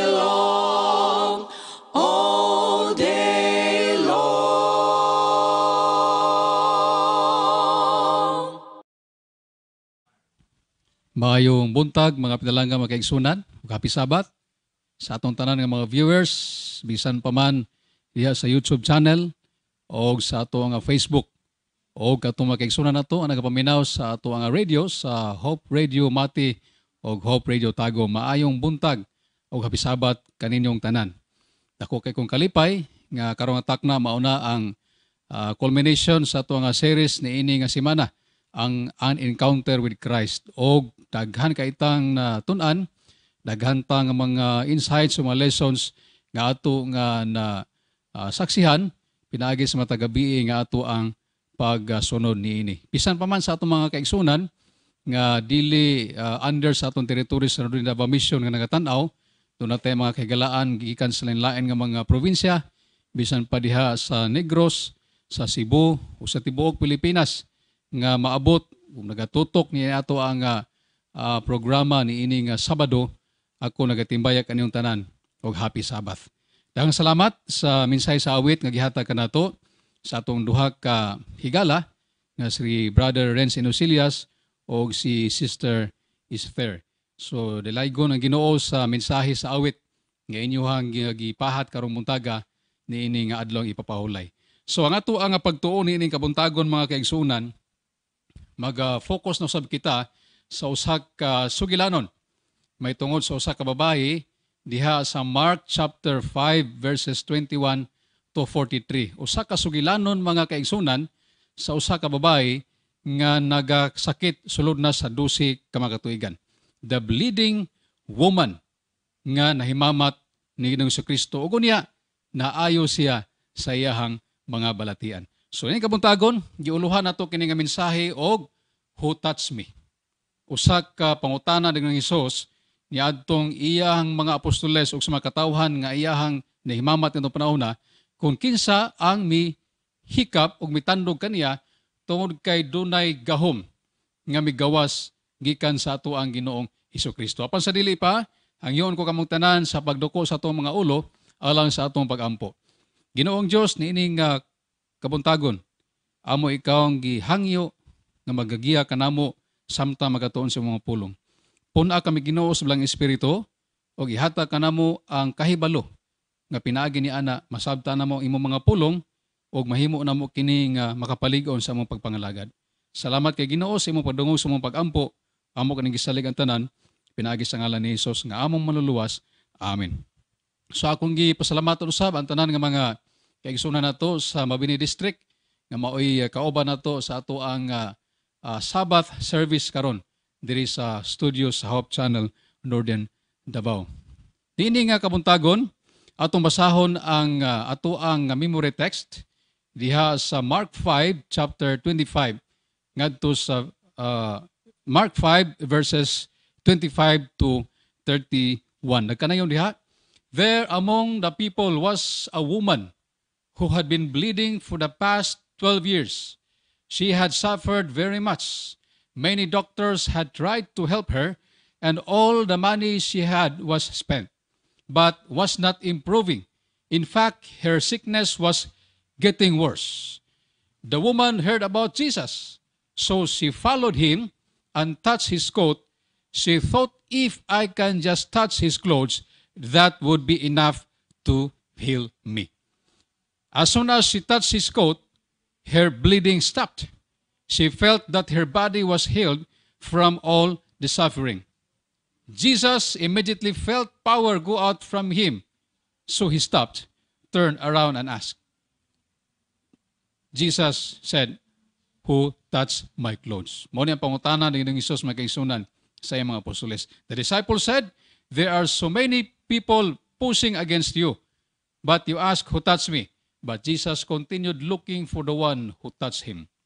Verse 33 The woman knew that she was healed, so she came and bowed at Jesus' feet. She was shaking with fear. She told Jesus the whole story.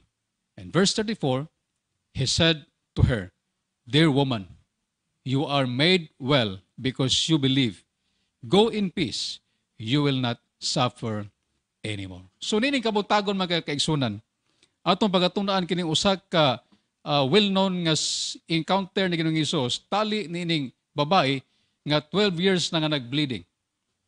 Nga iya kining gisundan si Ginoong Kristo mga kaisunan. Bisan pa ngadto sa balay ni Levi Mateo nga ning adto si Ginoong Kristo ang kining maong babae nga nag-antos ning balatian sa dugay panahon. Iya yung gisundan. Nganuman, kay iya nang nahurot ang tanan niya mga salapi, tanan niya nga mga resources magigsunan aron lang maayo siya sa balatian. Nahurot na niya adto ang tanan nga mga hospitals, tanan nga mga banggiitan nga mga doctors, apan wala gyud siya mamaayo magigsunan until such time nga iyang nadunggan ang usak ka mananambal nga mao si Hesus Kristo nga maoy iyang gituuhan nga may makaayo kaniya magigsunan. So niini kabuntagon, doon na lamang kita duha ka uh, leksyon nga ato ang matunan. Pinaagi ni ining ato ang encounter with Christ ni ining kabuntagon. Number one, insight nga ato makuha ni ini mao kining one touch a package blessing. One touch an eternal reward. Mga kaigsunan, matod pa diha sa balang kasulatan. Ang first point nga atong i-share nga kaninyo, one touch a package blessing. Nganong na, na, nahimo man yung panalangin mga kaigsunan ni ining maong babay. Kay matod pa sa teksto nga ato ang nabasa ganina, nagkanayon, the woman heard about Jesus. So she followed him and touched his coat.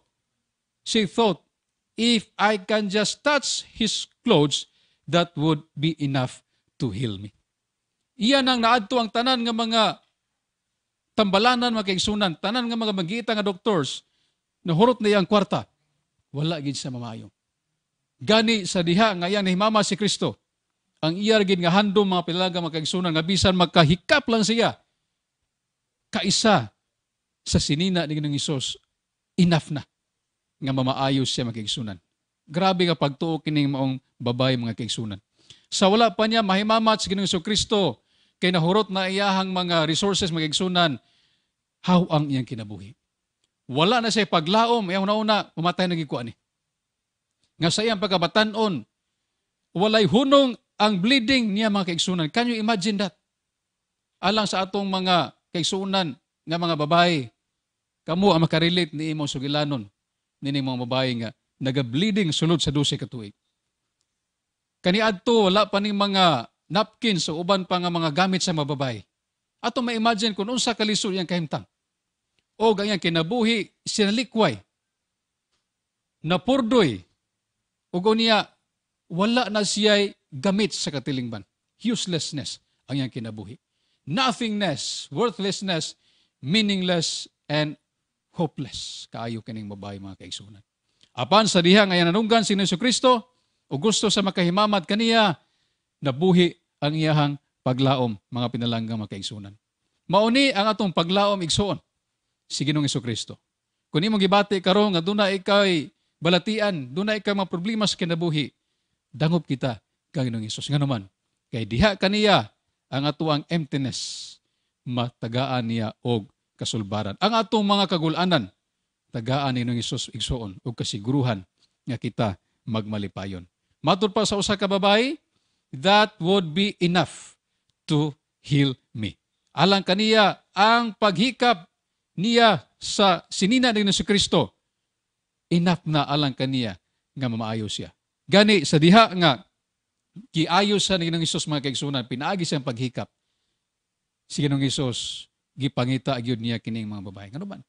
Tungo kay gusto niya ipakita sa katilingban nga bisan pa ang pinakanubo sa society nga tao nga gisinilikway, gitagaan niya og dako nga pagtagad. Sa iya pagatubang ng Yesu Kristo, she was shaking with fear. Nagkurog-kurog kining mga babae tungod kay dili niya ma-express ang iyang gibati sa diha nga giayo sa ning Hesus. Nga sa kadaghan ng pamaagi ang gibuhat, wala siya mamaayo. Apan gumikan lang sa iyang pagtuo. Gumikan lang sa paghikap sa sapot ginang Kristo na naayo siya mga pinalanggang mga kaigsunan. So in verse 34, nagkanayon diha. Verse 34, Jesus said to her, Dear woman, you are made well because you believe. Go in peace. You will not suffer anymore. Mga kaigsunan, ang nakapaayo ni mga, mga, mga babae, mao ang iyang pagtuo. It is faith, belief in Him that makes us free. Nini kalibutan ang atong gipuyan mga kaigsunan, napuno kita sa mga problema ug mga kabugaton ug mga lulan. Apan, kung doon na kita ipagtuo mo, dangop kita kang Kristo, kita iyang tabangan. Dili lang sa atong physical nga mga problema, financial nga mga problema, kundi nagkalasi-klase nga mga problema sa kinabuhi igsoon. Sino si Kristo, andam nga maminaw sa imuhang mga yangungo ngadto kaniya. It is faith or belief in Him that makes us free. Gani, giingnan pagid sa ni Kristo, go in peace. Nga kaniadto dili peaceful ang iyang panahuna. Napuno sa problema ang iyang panahuna, stress ang iyang kinabuhi, karong giingnan sa Ginoo, go in peace. Ginoo, mga kaigsunan, kung sino si Kristo anaa sa atong kinabuhi, adunay kalinaw ang ato ang pangunahuna. Adunay kalinaw ang atong pagbati ug adunay kalinaw ang atong matag panimalay mga kaigsunan kung anaa si Kristo pinaagi sa ato ang pagsalig nga nagkaniya. Not suffer anymore. Dini kalibutan na atong gipuy-an na puno sa kasakit mga kaigsunan. Na puno sa pagantos ug napuno sa daghan nga problema. In fact, kining mga babae nga gisulat dinhi sa Mark chapter 5 mga kaigsunan, nagaantos na sa dugay kapanahonan. Can you imagine that? 12 years nga pagantos. Unya, matod pa sa uh, kasuguan ni Moises sa Leviticus nga once nga ang babae moabot sa iyahang yang monthly period from day 1 until 7 day, 7th day, ang iyahang gitawag on unclean magpabilin makaigsunan. Sa panahon nga anaa kaniya ang monthly period. Mintras anaa pa ang bleeding kaniya matod pa sa mga Hudiyo. Diya sa Leviticus magpabilin ang iyang uncleanness. Tanan nga iyang magunitan, mahugaw. Tanan nga iyang malingkuran, hugaw. O ang mga tao nga makasugata kaniya, i-considered siya nga hugaw. Ingon ni Ana ang ilahang nga balaod mahitungod sa the bleeding woman. Can you imagine nga kining mga babae sulod na sa 12 ka mga katuigan? Sulod na sa dugay nga mga katuigan nagaantos niini. Siguro ang mga tao nga makabantay nga siya adunay sakit nga sama ni ana gisalikway siya. Mo palayo niya, mudagan mga kaisunan palayo niya tungod kay siya considered nga hugaw. She was neglected in the society mga kaisunan. Apan diha kang Kristo, gidawat siya mga kaisunan. Og ang iyahang balatian na ayo sa diha-diha. Gani, ang insight number two, go in peace. You will not suffer anymore. Pagkanindot sa maong uh, statement ng Isus, lakaw nga magmalinaon, o dili na gyud ka magantos. One touch, an eternal reward. Ang paghikap ni sa Kristo, ang paghikap niya kang Kristo magagsuna nakapaayo sa iyang balatian. Immediately, her bleeding stopped. Ning undang ang iyahang uh, balatian makaigsunan sa diha nga ning hikap siya sa gamay ra nga portion nga bahin sa sinina ni Hesus Kristo. Naayo siya physically and the other one ang resulta sa paghikap aduna siya'y nadawat nga statement kay Jesus, Go in peace, you will not suffer anymore. Kining word nga you will not suffer anymore makagsunan mao kini ang atong paglaom. Nga nining kalibutan ang atong gipuy-an, magpabilin ang ato ang pag-antos. Magpabilin ang ato ang mga problema. Apan, ang Ginoo nagasaad, you will not suffer anymore. Suffer no more. Asam ning dapita mga pinalanggang mga kaigsunan, mga paglaom, nga atong pagapuyan nga wala na pag-antos o wala na mga problema. Naabani sa Boracay, naabani sa uban nga mga nasod, sa mga nindot nga mga resort, naaba ni dito, nga dili na ta magantos, makaigsunan, posible nga naa dito. Apan, pag abot sa pila ka adlaw, mobalik ra gyapon ang atong pagantos. Mobakasyon karon og Boracay, enjoy ka first day, second day, pero magdugay ka dito, magantos ka sa bayronon nga pitindakuan. Moadto kay lang nasod, mobakasyon ka, enjoy kaayo pila ka adlaw. Apan pagbayad nimo sa imong ticket, tanan ng mga bayronon, mubalik na po ang imuhang pag-antos. Apan kining suffer no more nga lugar, asa man kini nato makaplagan. Mao kini ang dapit magigsunan nga giandam sa Ginoo nga reward sa matag usa kanato. The new heaven and the new earth. Gani si Isayas, ang Ginoo nagsulti kang Isayas nga naghatag siya og saad mga pinalanggang magkaigsunan. Diha sa Isaiah chapter 66 verses 22 and 23 nagkanayon. For as the new heavens and the new earth, which I will make, shall remain before me, saith the Lord, so shall your seed and your name remain And one Sabbath to another shall all flesh come to worship before me. Mga kaigsunan, mga paglaom. Ang Ginoo nagaandam di ay og bagong langit o bagong yuta sa matag usa kanato. Nga ang iyang makatawhan nga nagmatinumanon dili na magantos. Wala na balatian. Didto magkinabuhi na sa walay katapusan. And one Sabbath to another shall all flesh will worship before our Lord. Kining atong pagsimba matag adlay papahulay mga kaigsunan. Usa kini siya ka reflection. Usa kini siya ka ah, shadow sa tinuon nga pagsimba yaan ng bagong yuta o bagong langit nga giandam sa Ginoo kanato. Busa atong anaron ato kinabuhi nga magsimba ta matag adlong papahulay nga naman kay dito sa langit mao na ni ato ang lifestyle matag adlaw Sabado makaigsunan. Gani si ah, Apostol Pablo nagkanayon sa unang Korinto kapitulo 2 bersikulo 9. But it is written, eye hath not seen, ear has not heard, neither has it entered into the heart of man the things which God has prepared for them that love Him. Matod niya nga ang matad dili maka-explain. Walay maka-explain kung unsa kanindot kining dapit nga giandam sa Ginoo. Wala pay mata nga nakakita kung unsa kanindot kining dapita. Dili ma-explain kung unsa katahom kining maong dapit although it was already described in the Bible but in reality makaigsunan kining mga dapit nga atong naadtuan diri kalibutan dili ikakumpara. Nya anang dapit nga giandam sa Ginoo alang kanato. Giandam kini sa Ginoo alang kanato labi na gyud nya atong mga tawo nga nagigugma sa Ginoo nya atong mga tawo nga nindawat kaniya nya atong mga tawo nga nagtuman sa kasuguan katong mga tawo nga ning lahutay bisan pa panahon sa kalisdanan o pasulay mga kaigsunan Gani, si Abraham, pila na kalibo ang labay nga nagkinabuhi si Abraham ang kaigsunan sa Old Testament. Siya nagahandom na nga magkapuyo ni maong dapit. Diha sa Hebrews chapter 11 verse 10, niingon, ang mga kasulatan, For Abraham, look for a city which hath foundations, whose builder and maker is God. Si Abraham ang kaigsunan nga nga consider nga usa sa pinaka dato sa iyang panahonan usa ka ilado nga tawo sa iyang kapanahonan. Stable ang kinabuhi mga kaigsunan niya adtong panahon niya apan nangandoy siya niya ng syudad nga giandam sa Ginoo. Usa ka syudad nga ang magtutukod mao ang Dios. Ang pundasyon mao ang Dios. Whose the city which hath foundations, whose builder and maker is God. Ganong nangandoy man si Abraham niya mong dapit mga kaigsunan. Tungod kay iyang nakita nga ang tanan nga mga butang niyang kalibutan ang atong gipuyan adunay katapusan.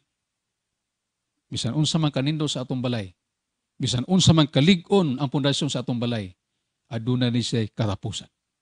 Moabot ang adlaw, malinog, mga katalagman, matingala rata nga nang liki-liki na ang atong balay nga gwapo kay magpagkatrabaho. But that place that God has prepared for us, nga iyang gipanday makaigsunan, siya ang pundasyon, siya ang nagtukod, walay pagkaguba mga pinalanggang mga kaigsunan mga kapaglaon. Mauna ang ipangandoy ni Abraham sa iyang kapanahonan. The new earth, mao kini ang pagapuy-an sa katawan sa Dios mga kaigsunan, paghuman sa atong bakasyon dito sa langit sulod sa usa ka libo ka tuig. The same earth but renewed like Eden, free of sins. Maoning kalibutan na atong pagapuy-an apan bag-ohon sa Ginoo sama sa garden sa Eden nga wala nay mga sala ang nanagpuyo ni pagkanindot ni panahon na makigsunan. I am very excited. We are very excited to dwell ni ining dapit nga giandam sa Ginoo lang kanato. Gani ang langit nga ato ang pagaadtuan. Ang langit nga atong pagga bakasyonan makigsunan is not our home for eternity. Just a vacation place for 1,000 years. Ang langit nga giandam sa Ginoo kanato usa lamang ka lugar, usa lamang ka dapit nga bakasyonanan sa mga balaan. Sulod sa usa kalibo ka mga katuigan. Now, kini usa kalibo ka tuig nga bakasyon, laay siguro ni mga kaigsunan alang sa uban. Kaya ang uban, mga sila, ah, laay kay nang 1,000 ka tuig. One week lang. Apan mga kaigsunan, sutihan ko kamo. Nga kining 1,000 years nga vacation, kauban ang ginoo, walay pagkalaay. Walay kamatayon, walay kasakit, lunlon kalipay ato ang matagamtaman, yan ang kapanahon na. Malipay maganita pa bakasyonon og usa ka semana, Malipay mga ganita papakasyonon usa ka bulan, how much more? 1,000 years igsoon. Mauna nga ato yung pamalandungan nga dili nato ibaylo ang reward sa Ginoo. Dili nato ibaylo ang saad sa Ginoo gumikan lang sa mga butang sa kalibutan. Let us always focused the reward that God has prepared for us. Nga dili kini mabaylo nato makaigsunan tungod lamang sa atong pagkawili niining kalibutan ng atong puyan. Gawas ni ana papuyon kita sa Ginoo sa gitawag nga New Jerusalem. In Revelation chapter 21 verses 1 and 2 nagkanayon. Then I saw a new heaven and a new earth. For the first heaven and the first earth had passed away, and there was no longer any sea. I saw the holy city, the new Jerusalem, coming out coming down out of heaven from God, prepared as a bride beautifully dressed for her husband. Gidescribe diha ni John the Revelator makaigsunan nga ang New Jerusalem nga pagapuyan sa mga matarong giandam sa Ginoo sama sa usa ka pangasaunon. Beautifully dressed.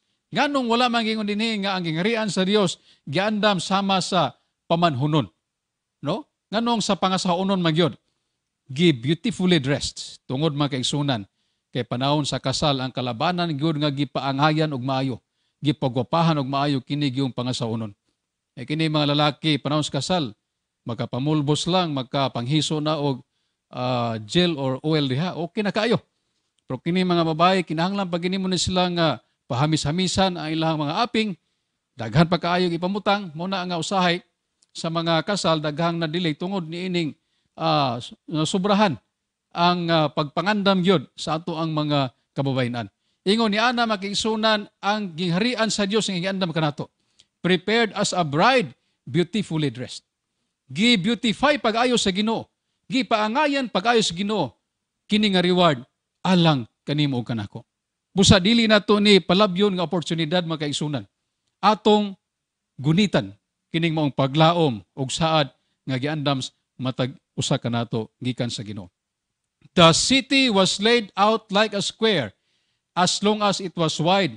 He measured the city with the rod, found it to be 12,000 stadia in length, and as wide and high as it is long. Ingon ni ana ka dako ang New Jerusalem mga kaigsunan nga pagapuy-an sa mga katawan sa Dios. Pagapuy-an ni ato mga tawo nga ning lahutay. Pagapuy-an ni ato mga tawo nga nagpadayon sa pagalagad bisan pa sa kalisod og dagko nga pagsulay nga miabot silang kinabuhi. Naunsa kadako kini 12,000 stadya magaigsunan. Gani gitagaan kini og measurement equivalent sa atong kapanahon karon. That is about 1,400 miles or about 2,200 kilometers. Dako kini maong dapit. Sarang kapuy-an ni atong mga taong matarong. Sarang kapuy-an kanimo ug kanako isuon. Kung ikaw magpabilin nga magmatinumanon nganha sa Ginoo. Gawas niya na ang dapit katong pagapuyan golden streets and pearly gates. Bulawan ang iyahang dalan mga kaigsunan. Ang iyahang mga kural, pirlas, busa, alang kanato nga nagsigig pangita og bulawan ning kalibutana. Igsoon, mao na niya ang dapit nga atong pag-atuan. Niining kalibutana makakita tag bulawan apan kung ato na ning mataguan na ani makaditik nato pangitaon punta kay gusto po nila ng kwaon. Daghantang mga kaila nga na ngalot o mga bulawan. Hangtod paabot sa panahon nga ang bulawan nahurot rapod diha sa minahan. Dunay pagkahurot ang bulawan nining uta. Walay stability. Walay safety apan dito sa langit mga kaigsuna. Ang atong pagalakwan dito golden streets o gunya ginakuralan kita og lunlun bulawan mga pinalanggang mga kaigsunan mga paglaom. Busa niining maong dapit nga sa Ginoo. Dili gini nato angayan nga ibaylo. Gani niingon diha sa Revelation 21 verse 3. And I heard a loud voice from the throne saying, Now the dwelling of God is with men, and he will live with them. They will be his people, and God himself will be with them and be their God. Wala na'y pagbinulagay makaigsunan. Ang ginoo nga atong gilagaran, kanunay na natong kauban. Kanunay na nga naa sa atong kiliran. Ugunya, ining bagong yuta nga giandam sa kinoo kanato, kita dito mananom o maghimo og mga puloy-anan ngadto mong dapit mga kaigsunan. And I heard a loud voice from the throne saying, Now the dwelling of God is with men, and he will live with them. They will be his people, and God himself will be with them and be their God. Pagkanindot sa saad sa Ginoo mga kaigsunan, alang ka nato. Gani, si Apostol Pedro, naghatag siya og pahinumdom sa matag usa kanato may tungod ni ining bagong langit o bagong yuta ang isad sa Ginoo. Mato pa niya, Nevertheless, we, according to His promise, look for new heavens and a new earth wherein dwelleth righteousness. Kinsa ang makapuyo ni imong dapit magaigsunan? Wherein dwelleth righteousness. Ang mga tao makaigsunan nga makaadto dito kato mga tao nga mga matarong. Nga bisan niining yutaan nakahimo silang dautan apan ilang nahimamat si Kristo na bago ilang kanabuhi gitalikdan nila ang ilang karaan kinabuhi, nahimo silang matarong. Pinaagi sa grasya sa Dios o nagpadayon sa pagkamatinumanon hangtod nga pagbalik ni Kristo, napalgan sila nga nahimong mga matarong sila ang makapuyo nining bagong langit o buong yuta. Busa igsoon. Ikaw ako, let us strive to have this Christ righteousness. Nga kung kini masulob sa ato kinabuhi, aduna kitay kasiguruhan makapuyo ning dapit ngayong gisaad matag usa kanato. Nganong gusto man ta mapuyo nini mong dapit magigsunan? Isaiah 60 verse 18. Violence shall be no more. Be heard in thy land. Ang mga kagubot, ang mga krimen makigsunan, kawat o uban pa nga mga uh, kaso sa karautan ng kalibutan na dili na nato ma-experience dito. Wasting nor destruction within thy borders but thou shalt call thy walls salvation and thy gates praise. Pagkanindot ning dapit magigsunan karon sa ato ang mga panimalay o walay kural atong balay karon daghang mga wala sa mga butang sa imong balay nganuman kay daghang gyud ang manguha nining kalibutan. Apan dito sa langit magigsunan wala nay kawatan. Wala nay krimen dito tungod kay kanang maong dapit hingpit o wala nay makasasala. Ang mga malala nga mananap dito magigsunan, mahimo ng kadula sa atong mga kabataan. The lion shall eat straw like the ox in Isaiah chapter 11 verse 7. Unsa ka-excited ang katawan sa Dios nga mo po napita. Mao bitay hinungdan nganong nga nagpabilin tas pag-alagad makigsunan. Bisan giunsa ta pagkuso-kuso sa pagsulay, bisan giunsa ta pagbanda-banda sa mga kasakit ng libutana, nagpadayon tas pag-alagad upos sa Ginoo tungkol kay gusto kita nga maka-eksperyensya nga magkinabuhi nga wala na gyoy katapusan. So, ang kinabuhi sa bagong yuta, every evil eradicated. Wala na'y dautan dito magsunat. Wala na'y sala. Wala na'y problema. Former shall not be remembered. Isaiah 65 verse 16. Ang atong mga problema, atong mga kasakit na kalibutan na makigsunan, ang ato ang mga uh, kapakyasan, dili na na siya paghinumduman. Build houses and inhibit them. Dito napita, makapuyo gihapon tao mga panimalay. Daghan, dako kayo ang luti nga giandam sa Ginoo alang kanato. Ganin ingon sa diya sa John chapter 14 verse 1. Dili magagol yung kusing-kasing, sumali ka mo sa Dios, sumali usab ka mo kanako kay sa balay sa kong amahan adunay daghang puyanan. Pagkanindot, Muna nga karon kung nagproblema ta diri o mga puloy-anan diri sa kalibutan kay wala pa gyud tay napundar nga mga balay o mahal na kay mga luti igsoon ang bagong langit nga Adam sa Ginoo kanato dili problema ang panimalay. Build houses and inhibit them. Plant and harvest them. Alang kaninyo nga hilig o pananom. Mao na ni panahon na makaigsunan nga didto niya namong dapit sa baong yuta makapananom na ta ug ang nakanindot kay ikaw ang nagtanom, ikaw po ang mo harvest. Lahi sa atong panahon karon nga kung doon na kay kalubihan ikaw nagtanom, pagtalikod nimo, lahi ang ning harvest mga kaigsunan. Worship God every Sabbath. Recognize everybody despite glorified body. Ag magilhanay gyapon ta dito. Bisan pa man nga atong mga lawas nahimo nag lawas nga walay pagkamadulonton mag-ilanay gyapon ta dito mga kaigsunan. Mental restoration No more night.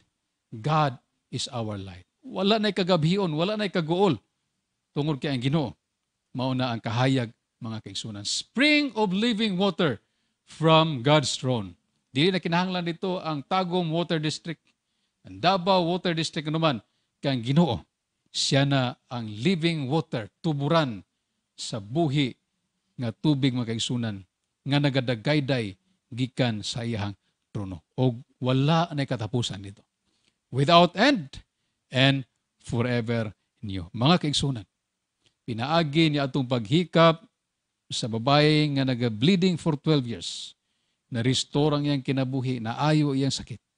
O usab, gitagaan sa pasalig sa Ginoo. You will not suffer anymore. O alang usab ka nato. Ang dapit nga atong gihandong nga wala ni pagantos. Ang dapit nga atong gusto puyan nga mo naghatag ka natong inspirasyon nga moalagad sa Ginoo mo kaning dapit magisunan nga magkinabuhi kita sa bagong yuta o baong langit. So, these are the insights nga atong natun-an niini nga kabuntagon mga kaigsunan, the two insights of the story of this bleeding woman. That one touch, a package blessing nga naayo siya siyang malatian. And one touch, an eternal reward nga mao ang kinabuhing walay katapusan. Ako nagalaom kanatong tanan karon. Atong kuptan kining maong nga saad sa Ginoo. Ato kanunay ning himuon nga paglaom. Himuon nato nga inspirasyon sa pag-alagad. Nga kining yuta nga atong gipuyan dili ni mao ang tinuo natong pulianan kundi mao ang langit nga atong gihandom nga gisaad sa Ginoo lang nato. Ako nagaampo nga ang Dios magapanlang kanong tanan og happy sabat mga kapaglaom.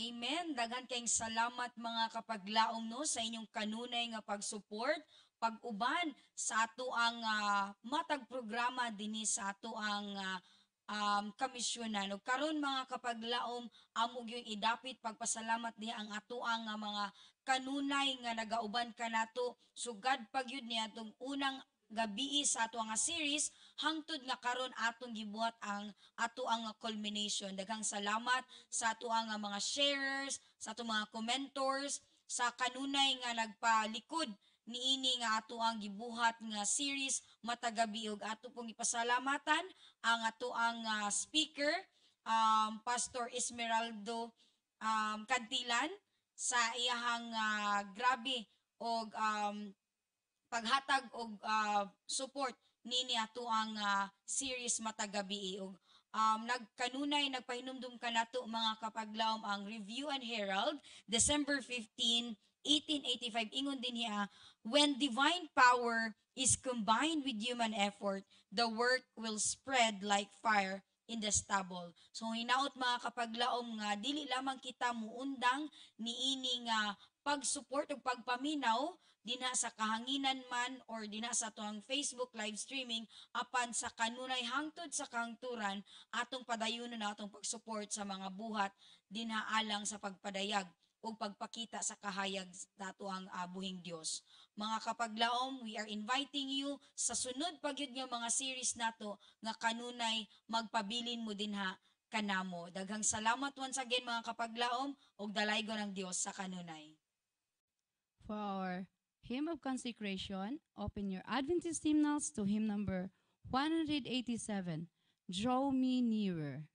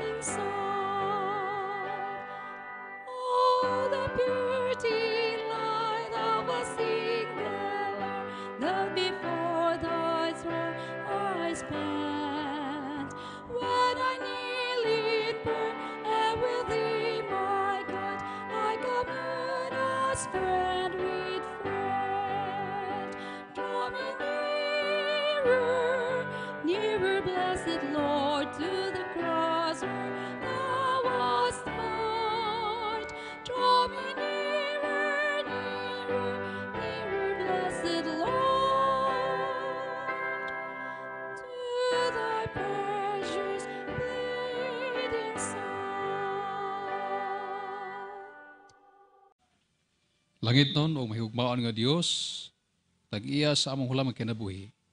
Dalay ko ikaw sa mga pulong nga munadunggan ni ining kautuhon, sa mga awit, ug sa tanan nga mga pulong Ginoo nga nagaday kanimo. Salamat nga kadto nga mga pulong maghatag ka namo og kalig-on, maghatag ka namo og paglaom, maghatag ka namo og inspirasyon samtang nagahulat sa imong pagbalik. Ang gugma sa amahan, ang pakiguban sa anak ug ang giyas bilang espiritu manaa kanamong tanan. Amen.